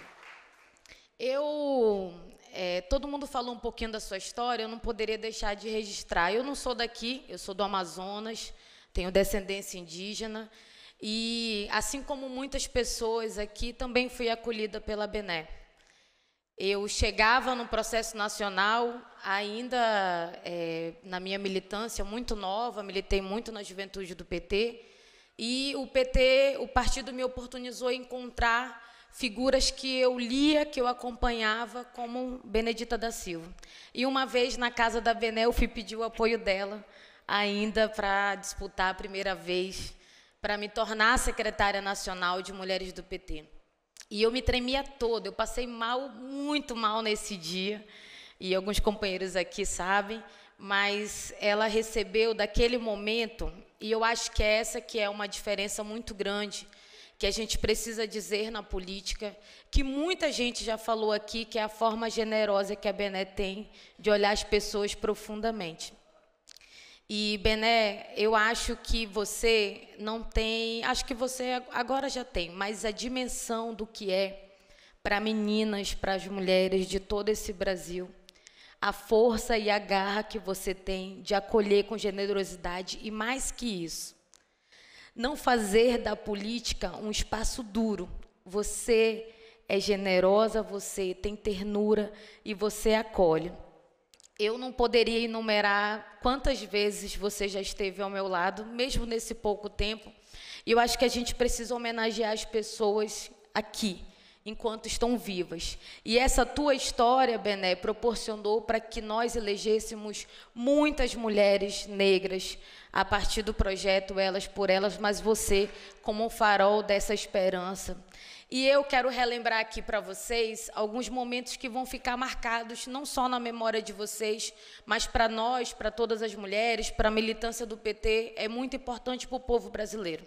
Quando a Bené ocupa aquele plenário é, para tratar da lei das domésticas, e aqui olhando a nossa Nair, eu lembrei desse momento, que é um momento histórico, em que a Bené sobe ali. Eu vou lembrar apenas dois momentos. E essa dimensão que veio a partir dessa lei das domésticas e a gente vendo o retrato social que tem acontecido agora, desses retrocessos, dessa destruição do nosso país. Então, a Bené, ela tem, ela é esse farol de esperança. Em um outro momento mais recente, que está nas nossas memórias, mas é que é conquista a partir de iniciativa como a dela, que é a questão da cota racial nas eleições. Parece que isso não faz diferença, mas faz muita diferença. A política hoje, ela não é representada pela maioria desse país, que são as mulheres, as mulheres negras e as mulheres indígenas também, que muitas foram tiradas vidas nesse território, que são os nossos povos originários. Por isso, Bené, eu muito emocionada também quero te dizer que a, a Tainá falou aqui, a nossa vereadora, mas para nós é exatamente assim. Você está para o povo brasileiro, para a militância e para a história desse país, tal qual está o nosso presidente Lula. Ele sabe disso e nós sabemos também. E por isso, eu acho que quem viu aquela foto da Bené ajoelhada, lá na Polícia Federal, lá no Paraná, quando o nosso presidente Lula estava preso injustamente e que agora é, está inocentado e caminha com muita esperança para a reeleição dele. A Benê ali, com toda a sua angústia, a sua generosidade, e a gente ficou muito preocupado. E essa é a Bené, essa é a Bené que nos inspira e que é nosso farol, incansável. As tuas lágrimas, Bené, a tua fé, ela contagia todos nós, assim. E nós temos muito orgulho, mas muito orgulho mesmo. E eu vim lá do Amazonas te dizer isso. Nós temos muito orgulho de ter você nas fileiras do nosso partido. E por isso ela merece continuar na Câmara Federal.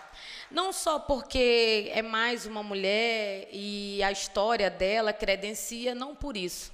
É porque vocês não têm dimensão, eu que percorri esse país por várias vezes, do que significa as mulheres no mais longe interior desse país lembrar e dizer assim: eu quero fazer política e eu quero ser candidata, eu quero ser vereadora, prefeita, deputada, porque eu quero ser uma Benedita da Silva. Então, Bené, você é essa esperança para todas nós por mais Beneditas da Silva. Viva, muitos anos de vida.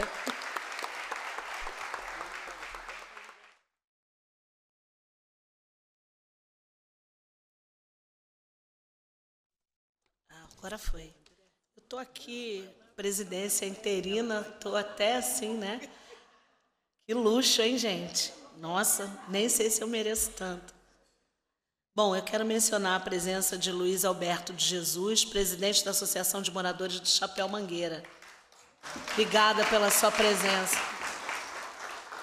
E agora a gente quer convidar para fazer o uso da palavra ele que é artista e companheiro da homenageada, Antônio Pitanga.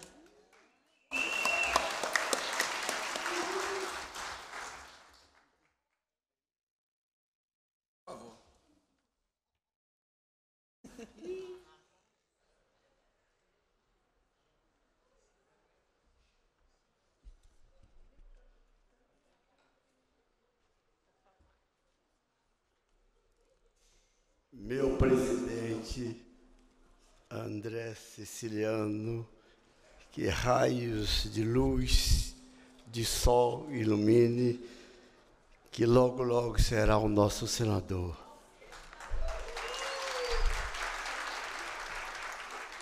A todos vocês, autoridades, convidados, família, o meu cordial boa noite.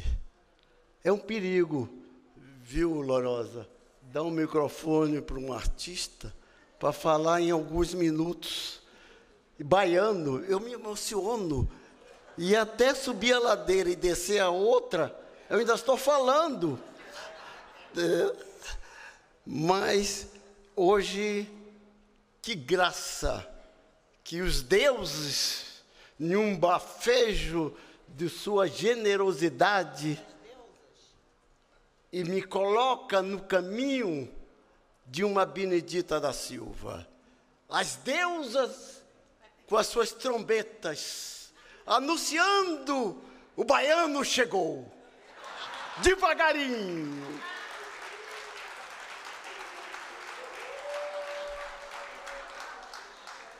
Veja bem, que mulher é esta? Que mulher é esta? Que ao longe, na minha terra, os tambores já anunciavam e adentrava nos meus ouvidos Benedita da Silva. Eu não estava no Rio, eu estava na Bahia, no movimento cultural, estudantil, movimento de teatro, de dança, de música, de capoeira, de teatro, de cinema, cinema novo. Eu já ouvia. Mas as minhas referências eram muito cravadas no meu coração, porque quem me pariu foi uma mulher, Maria da Natividade. E minha mulher, minha mãe, morreu muito cedo. Mas a morte da minha mãe não fez com que eu deitasse choro, né, e esquecimento ou só lembrança. Através da minha mãe, eu procurei outras mulheres valorosas, como a Maria da Natividade, que me pariu no dia 6 de junho de 1939, que eu vou fazer 83 anos daqui a pouco. Benedita é uma criança, 80 anos, uma criança. Então, que mulher é esta? Que eu não perco de vista, as minhas referências não foram homens, Embora a gente estivesse num movimento de Martin Luther King, Malcolm X, nós tínhamos referências e de vanglorizar a nossa raça e a nossa identidade. Mas eu via nas mulheres, aonde estava Maria da Natividade? Numa Maria Filipa? Numa Teresa de Benguela? Numa Cotirine? Numa Luísa Maí? Numa Dandara? Aonde? Uma Leila Gonzalez? Uma Ruth de Souza? Eram as minhas referências no colégio, na capoeira, mestre Pastinha. Eu me vi ali. Então, quando a gente começa a andar e diz que mulher é essa e chega ao Rio de Janeiro, e se é abraçado pelo CPC, as favelas, Chapéu Mangueira e Babilônia era nosso habitat estudantil, não tinha violência. Subíamos ali na década de 60, pegava lotação, ia lá para Gustavo Sampaio e depois subia o morro. E era bem recebido, porque não era uma favela de alvenaria, era de pau a pique, aonde era um morro era matriarcal. Quem mandava no morro eram as mulheres. E a gentileza das crianças em relação aos mais velhos era lindo de ver. Então, essas mulheres, com um governo de uma ditadura, que provocava que o banheiro fosse do lado de fora para humilhar a dignidade humana, essas mulheres construíam de madrugada uma casa e um banheiro dentro.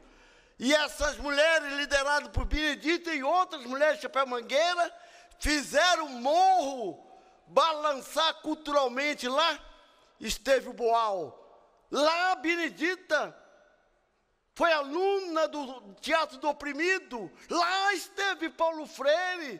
Ela foi aluna do Paulo Freire e alfabetizou Chapéu Mangueira, muita gente Chapéu Mangueira e Babilônia, pelo método Paulo Freire. Que mulher é esta? E eu estou de longe olhando. Quem seus movimentos me emociona.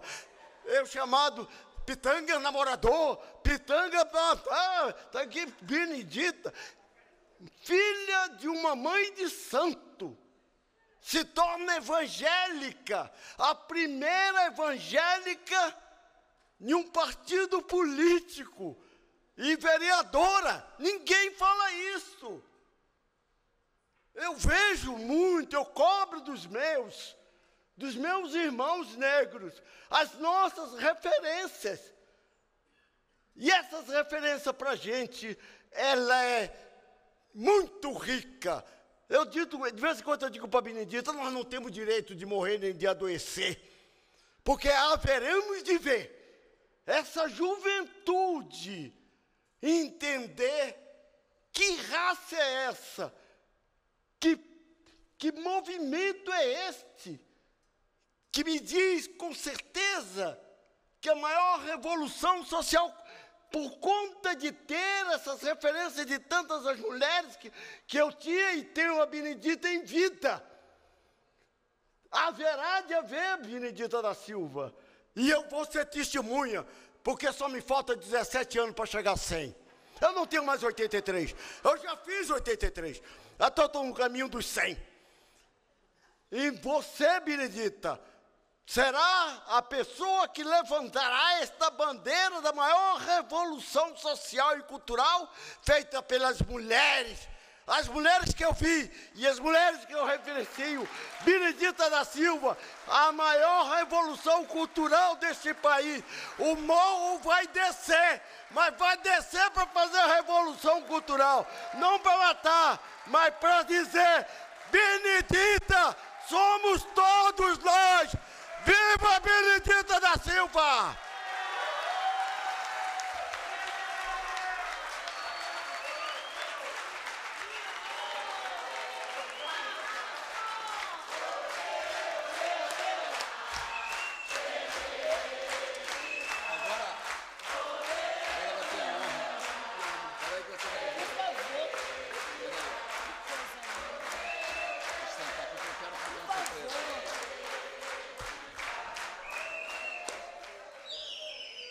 Eu quero agora, antes de passar a palavra para a nossa Benedita, convidar a Manuela para usar da palavra.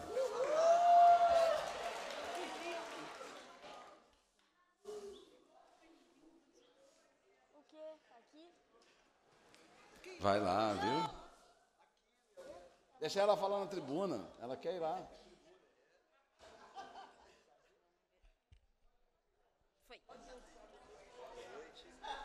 Boa noite, Boa meu nome é. Manuela e eu queria falar da Bisa. Eu tô falando por mim, pelo Luke e pelo Bento também. E eu gostaria de falar que ela é muito linda, é maravilhosa, ajuda muitas pessoas. Eu tenho muito orgulho dela. Cansei.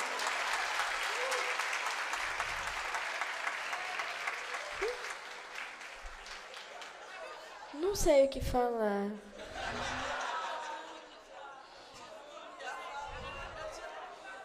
Te amo, Bisa. Tchau. Aí, viu?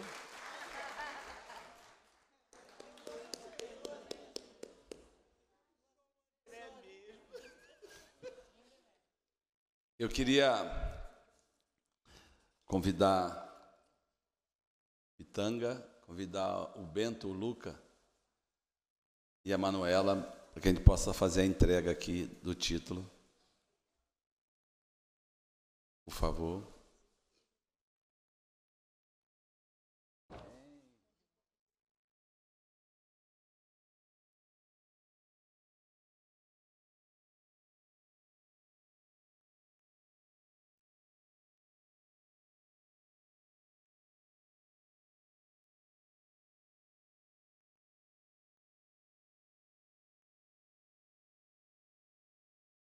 Chamar o Andrei aqui também, por favor.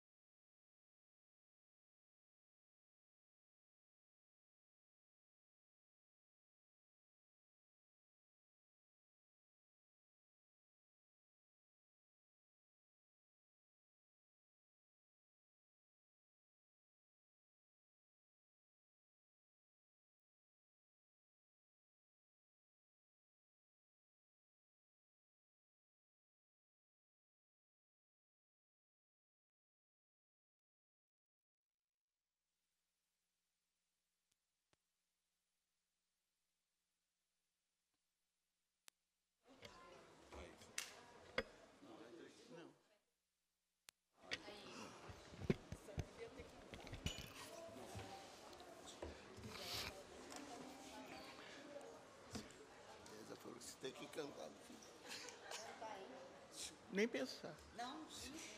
Eu vou, eu vou gritar daqui. Cantar coisa nenhuma. Não, que João Nogueira? Gente, vocês estão. Isso é para eu falar? É.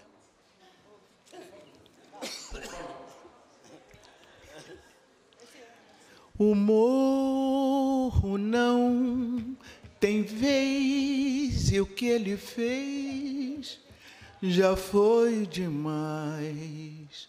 Olhem bem vocês, quando derem vez ao morro, toda a cidade vai cantar. Boa noite, gente, para quem é de boa noite, axé para quem é de axé, amém para quem é de amém, a paz do Senhor. Eu não vou falar esses nomes todos aqui, eu cumprimento essa mesa maravilhosa e todos vocês, porque senão é uma lista enorme. Eu pensei, eu digo, vou homenagear um, outro, mas vai, vocês serão bem representados nesta mesa pelo André. André Siciliano, meu sobrinho. E eu quero dizer que é meu sobrinho mesmo. Meu sobrinho, porque a gente tem filhos, a gente tem filhas, pelo menos na minha vida, que não nasceram nas nossas entranhas, mas que nasceram no nosso coração, que nasceram da luta do dia a dia, e é por isso que eu tenho o André como o meu sobrinho. Eu vi o André trabalhando na sua primeira candidatura à prefeitura. Eu estava lá com ele. Ele, um, um homem amado, uma pessoa carinhosa, que sempre fez com que nós tivéssemos os nossos corações aquecidos pela alegria. O André é um homem da cultura. Eu quero dizer aqui para Lorosa, Pretanga, que os demais que aí estão, que ele é o homem da cultura. E esse homem da cultura me fez muito feliz, porque de todas as suas administrações, ele enfrentou duas enchentes que era para acabar com qualquer político. Ele deu conta das duas enchentes, ele deu conta da cidade, e eu dizia, com a minha visão, o PT não está enxergando o André Siciliano. Ele ainda vai ser governador desse estado do Rio de Janeiro, depois que vier do Senado. Sempre disse isso. E fico muito emocionada de estar realmente recebendo essa homenagem. Ver tanta gente que eu queria dizer o nome, mas depois dá uma confusão, vocês não têm ideia. As pessoas falam assim: puxa, a Benedita nem falou meu nome, ela nem disse, então eu prefiro tirar as fotos, porque aí, entendeu? Já fica tudo resolvido, me levam para casa com eles, está tudo resolvido. Mas a minha emoção é grande. Eu fiz 80 anos e tenho uma família maravilhosa. O André sabe e tem acompanhado, como sobrinho que é, momentos difíceis, difíceis, mas com uma responsabilidade muito grande. Aí o Désia disse aqui que ela não ganhou as eleições. A Lélia também não ganhou mas ambas estavam comigo. Jurema também trabalhou comigo. E elas todas sabem que o meu mandato nunca foi meu. O meu mandato era um mandato realmente da cidade. E eu tive na Iudésia a assessora mais completa que uma pessoa possa ter. A Iudésia é que elaborava os meus discursos, mas ela nenhuma vez, nunca, nunca, nunca, ela disse que não poderia fazer. Eu, evangélica, e ela fazia, às vezes eu tinha que falar na igreja, e dizia, Eudésia, você conhece a Bíblia, faz aí, porque hoje eu vou falar na igreja. Mas não era só isso. A Eudésia e a Lélia e Jurema estavam no meu gabinete, André. Sabe por quê? Porque elas eram do PT. E um mandato, ele tem que ter essa responsabilidade de fazer crescer e não matar as nossas lideranças.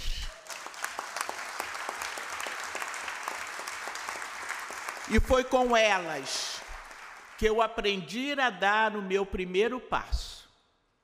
Elas que me assistiram na tribuna. E como eu tremia, como era difícil. Até que um dia nós conseguimos fazer o morro descer e ir para aquela câmara. Aquele dia foi uma dose de energia, e a partir dali nós fomos só num crescente, crescente, crescente, crescente. Eu tenho que fazer as homenagens a essas mulheres, porque nós nunca estamos sozinhas se temos ao nosso lado uma mulher. Pode ter certeza. É por isso que os homens se dão bem, porque tem às vezes a mulher do lado e ela aí resolve a, situação. Mas o André é um carinho só. Eu, quando soube dessa homenagem, eu falei, Abdias do Nascimento, o homem senador, fundou Teatro do Negro, junto com Ruth de Souza, isso eu sei porque Pitanga me ajuda. Então, mas eu vi a trajetória do Abdias e todos nós, militantes, o considerávamos o nosso zumbi. Aguerrido, corajoso, não abria mão, radical, porque a radicalidade, ela faz parte da luta da gente. Nós precisamos ser mais radicais nas lutas. E radical não é aquele que fala duro e não faz nada.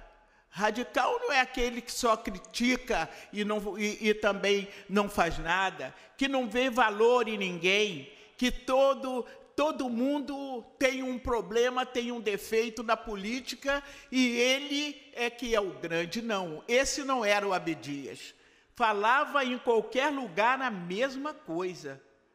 E quando eu soube que ia receber essa homenagem, pensa bem, gente, pelo meu sobrinho, uma homenagem feita do projeto de Abdias do Nascimento. Um ator, né, um grande pintor, tenho os quadros do Abdias em, em minha casa. E tive também a oportunidade de conviver com ele no Senado Federal. E foi lá que nós travamos muitas lutas. Ele no Senado, tive uma parte do Senado com ele, a outra parte não interessa, vocês já sabem. Eu saí do Senado, vim para o Rio e ele ficou então lá terminando aquela tarefa árdua, mas que corajosa em defender a raça, em defender políticas de cotas, é, em defender realmente. O Abdias ele era tão transparente na, nas coisas que ele acreditava que ele não se incomodava de chegar lá, ó, Vossa Excelência, não sei o quê. Ele tinha, ele era um homem educado, mas ele chegava naquela tribuna ali Primeiro ele chamava os orixás e começava ali então bater o tambor dele. Era assim que Abdias era. E esse Abdias fez muita gente hoje dentro do movimento negro. Assim como essas mulheres me ajudaram a chegar até aqui. Dito isso, eu quero só falar em relação as homenagens que são feitas às pessoas. Dependendo do momento da gente, a gente curte essa homenagem e, ao mesmo tempo, não tem como a gente não se emocionar. André, me desculpe, mas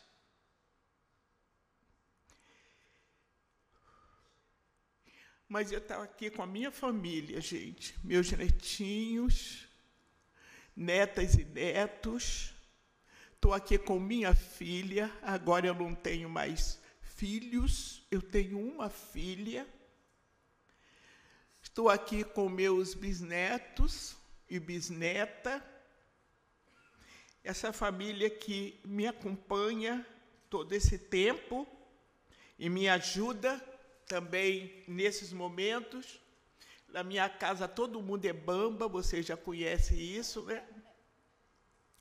E esse momento foi um momento que me pegou, assim, eu tenho dito lá, lá para o meu pessoal, eu digo, gente, eu não estou ainda em condição de de estar tá saindo, eu ainda estou chorando, assim, eu não estou me controlando, e eu estou chorando ainda, eu não quero passar isso. Quando as pessoas estão homenageando, você tem que estar tá ali. Eu estou feliz, André, muito feliz com o que você está fazendo. Eu estou feliz por saber que daqui a pouco eu vou largar essa bengala, vou estar tá na rua fazendo campanha para o meu senador. E quero estar bem para estar fazendo isso porque é uma forma de eu dizer obrigado. Eu só sei fazer assim. Quando não faço uma feijoada, eu vou fazer política com o pessoal. Então, eu estou muito emocionada mesmo. Vocês sabem que eu perdi meu filho, tem dois meses. Por isso que eu chamei o Andrei para vir aqui. O Andrei e a Etienne são filhos dele. E eu, esses dias, tenho chorado muito, sabe? Eu sei que a esposa dele está aí, também nós temos esse nosso coração. Eu, eu tenho chorado muito, mas eu tenho falado com Deus para ele não ficar triste comigo, porque eu estou chorando, não, porque eu sei que meu filho foi, foi bem, foi em paz, está bem guardado. Ele atravessou a ponte da eternidade e eu tenho certeza, segundo a minha fé, que um dia vou vê-lo.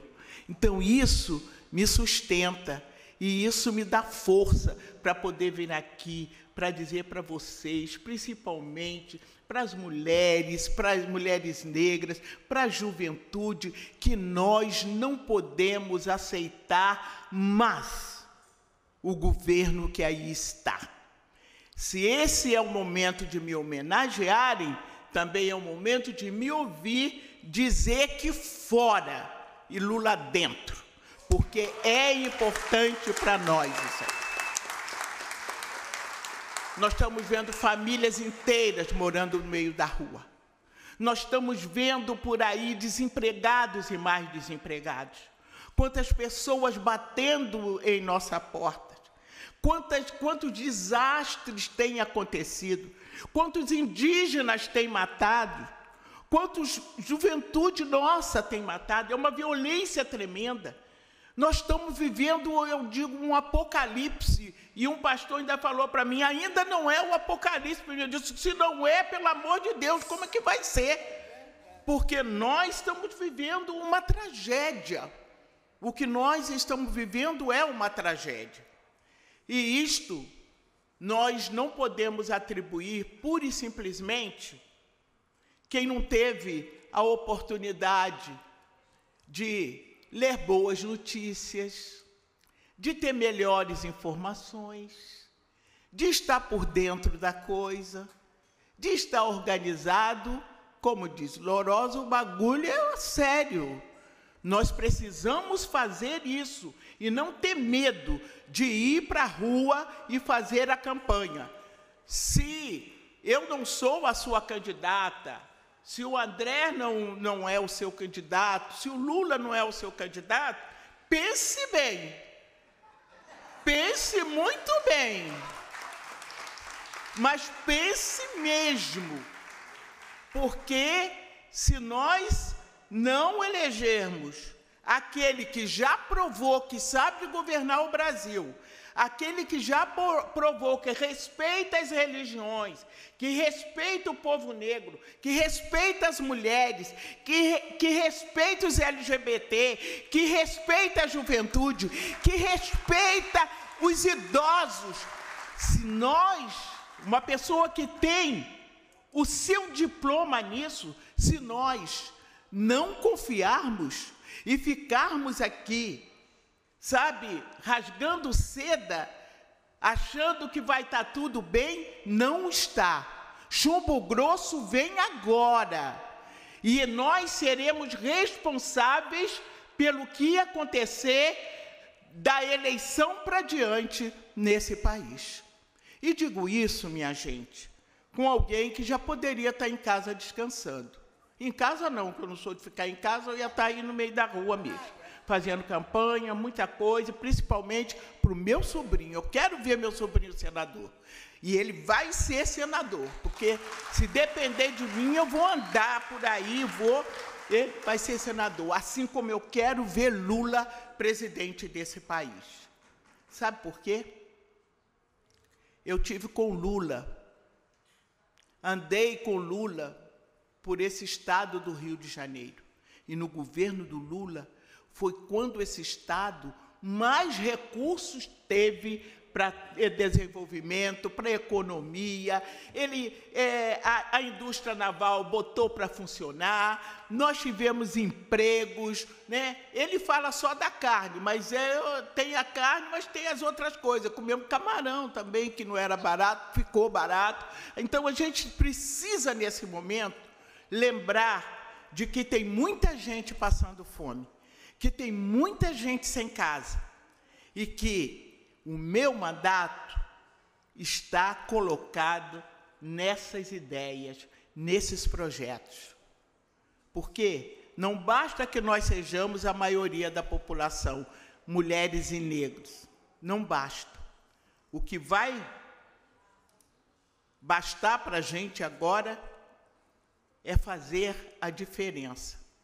Vamos colocar o nosso voto em quem nós sabemos que, se não fizer tudo, pelo menos vai estar conosco nas nossas lutas, nos nossos dias, vai nos respeitar o que somos e o que queremos. E faremos todos juntos esse Brasil voltar a sorrir.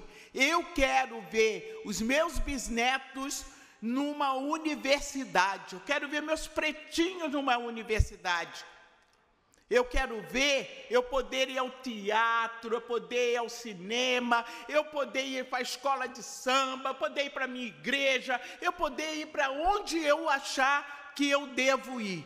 E tudo isso estará colocado ao meu alcance. Então, por isso, minha gente, eu agradeço a todos vocês que aqui vieram Agradeço também o André.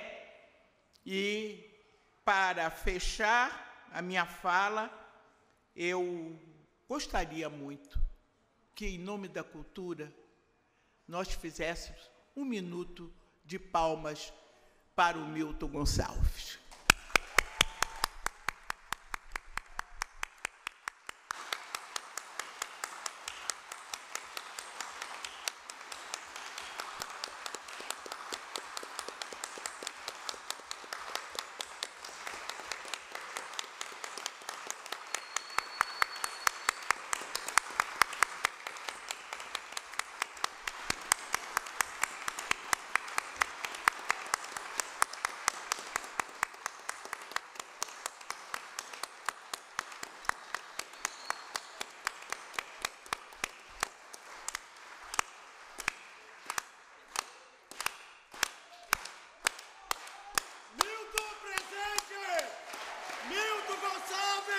Presente!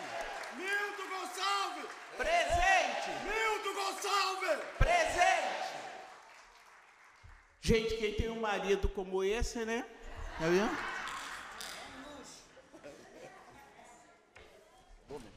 Acabei, meu filho. Então, eu queria agradecer a presença de todas e todos, dizer que foi uma noite memorável. Quero convidá-los para estarem aqui nas galerias, que vai ter um coquetel e as fotografias. E antes de encerrar, eu ia falar um poema de um paraibano, mas eu lembrei do Candeia, que dizia mais ou menos assim, que diz assim, né, Pitani? Deixe-me ir, preciso andar, vou por aí a procurar, sorrir para não chorar. Parabéns, minha tia, muito, muito, muito obrigado, porque nessa noite quem está sendo homenageado aqui somos nós. Beijos, obrigado. Vamos à foto, gente, e o coquetel, aqueles que não conseguiram. Eu vi aí o pastor Gibeon, gente, olha, me- gente que eu vi nascer tá aqui hoje, tá, gente? Lá no Chapéu Mangueira. Eu olhei, olhei e falei, é o Gibeon que tá aí. Que... É. Minha tia, vamos aqui por aqui, para a senhora subir no elevador. Declaro encerrada essa sessão. Obrigado.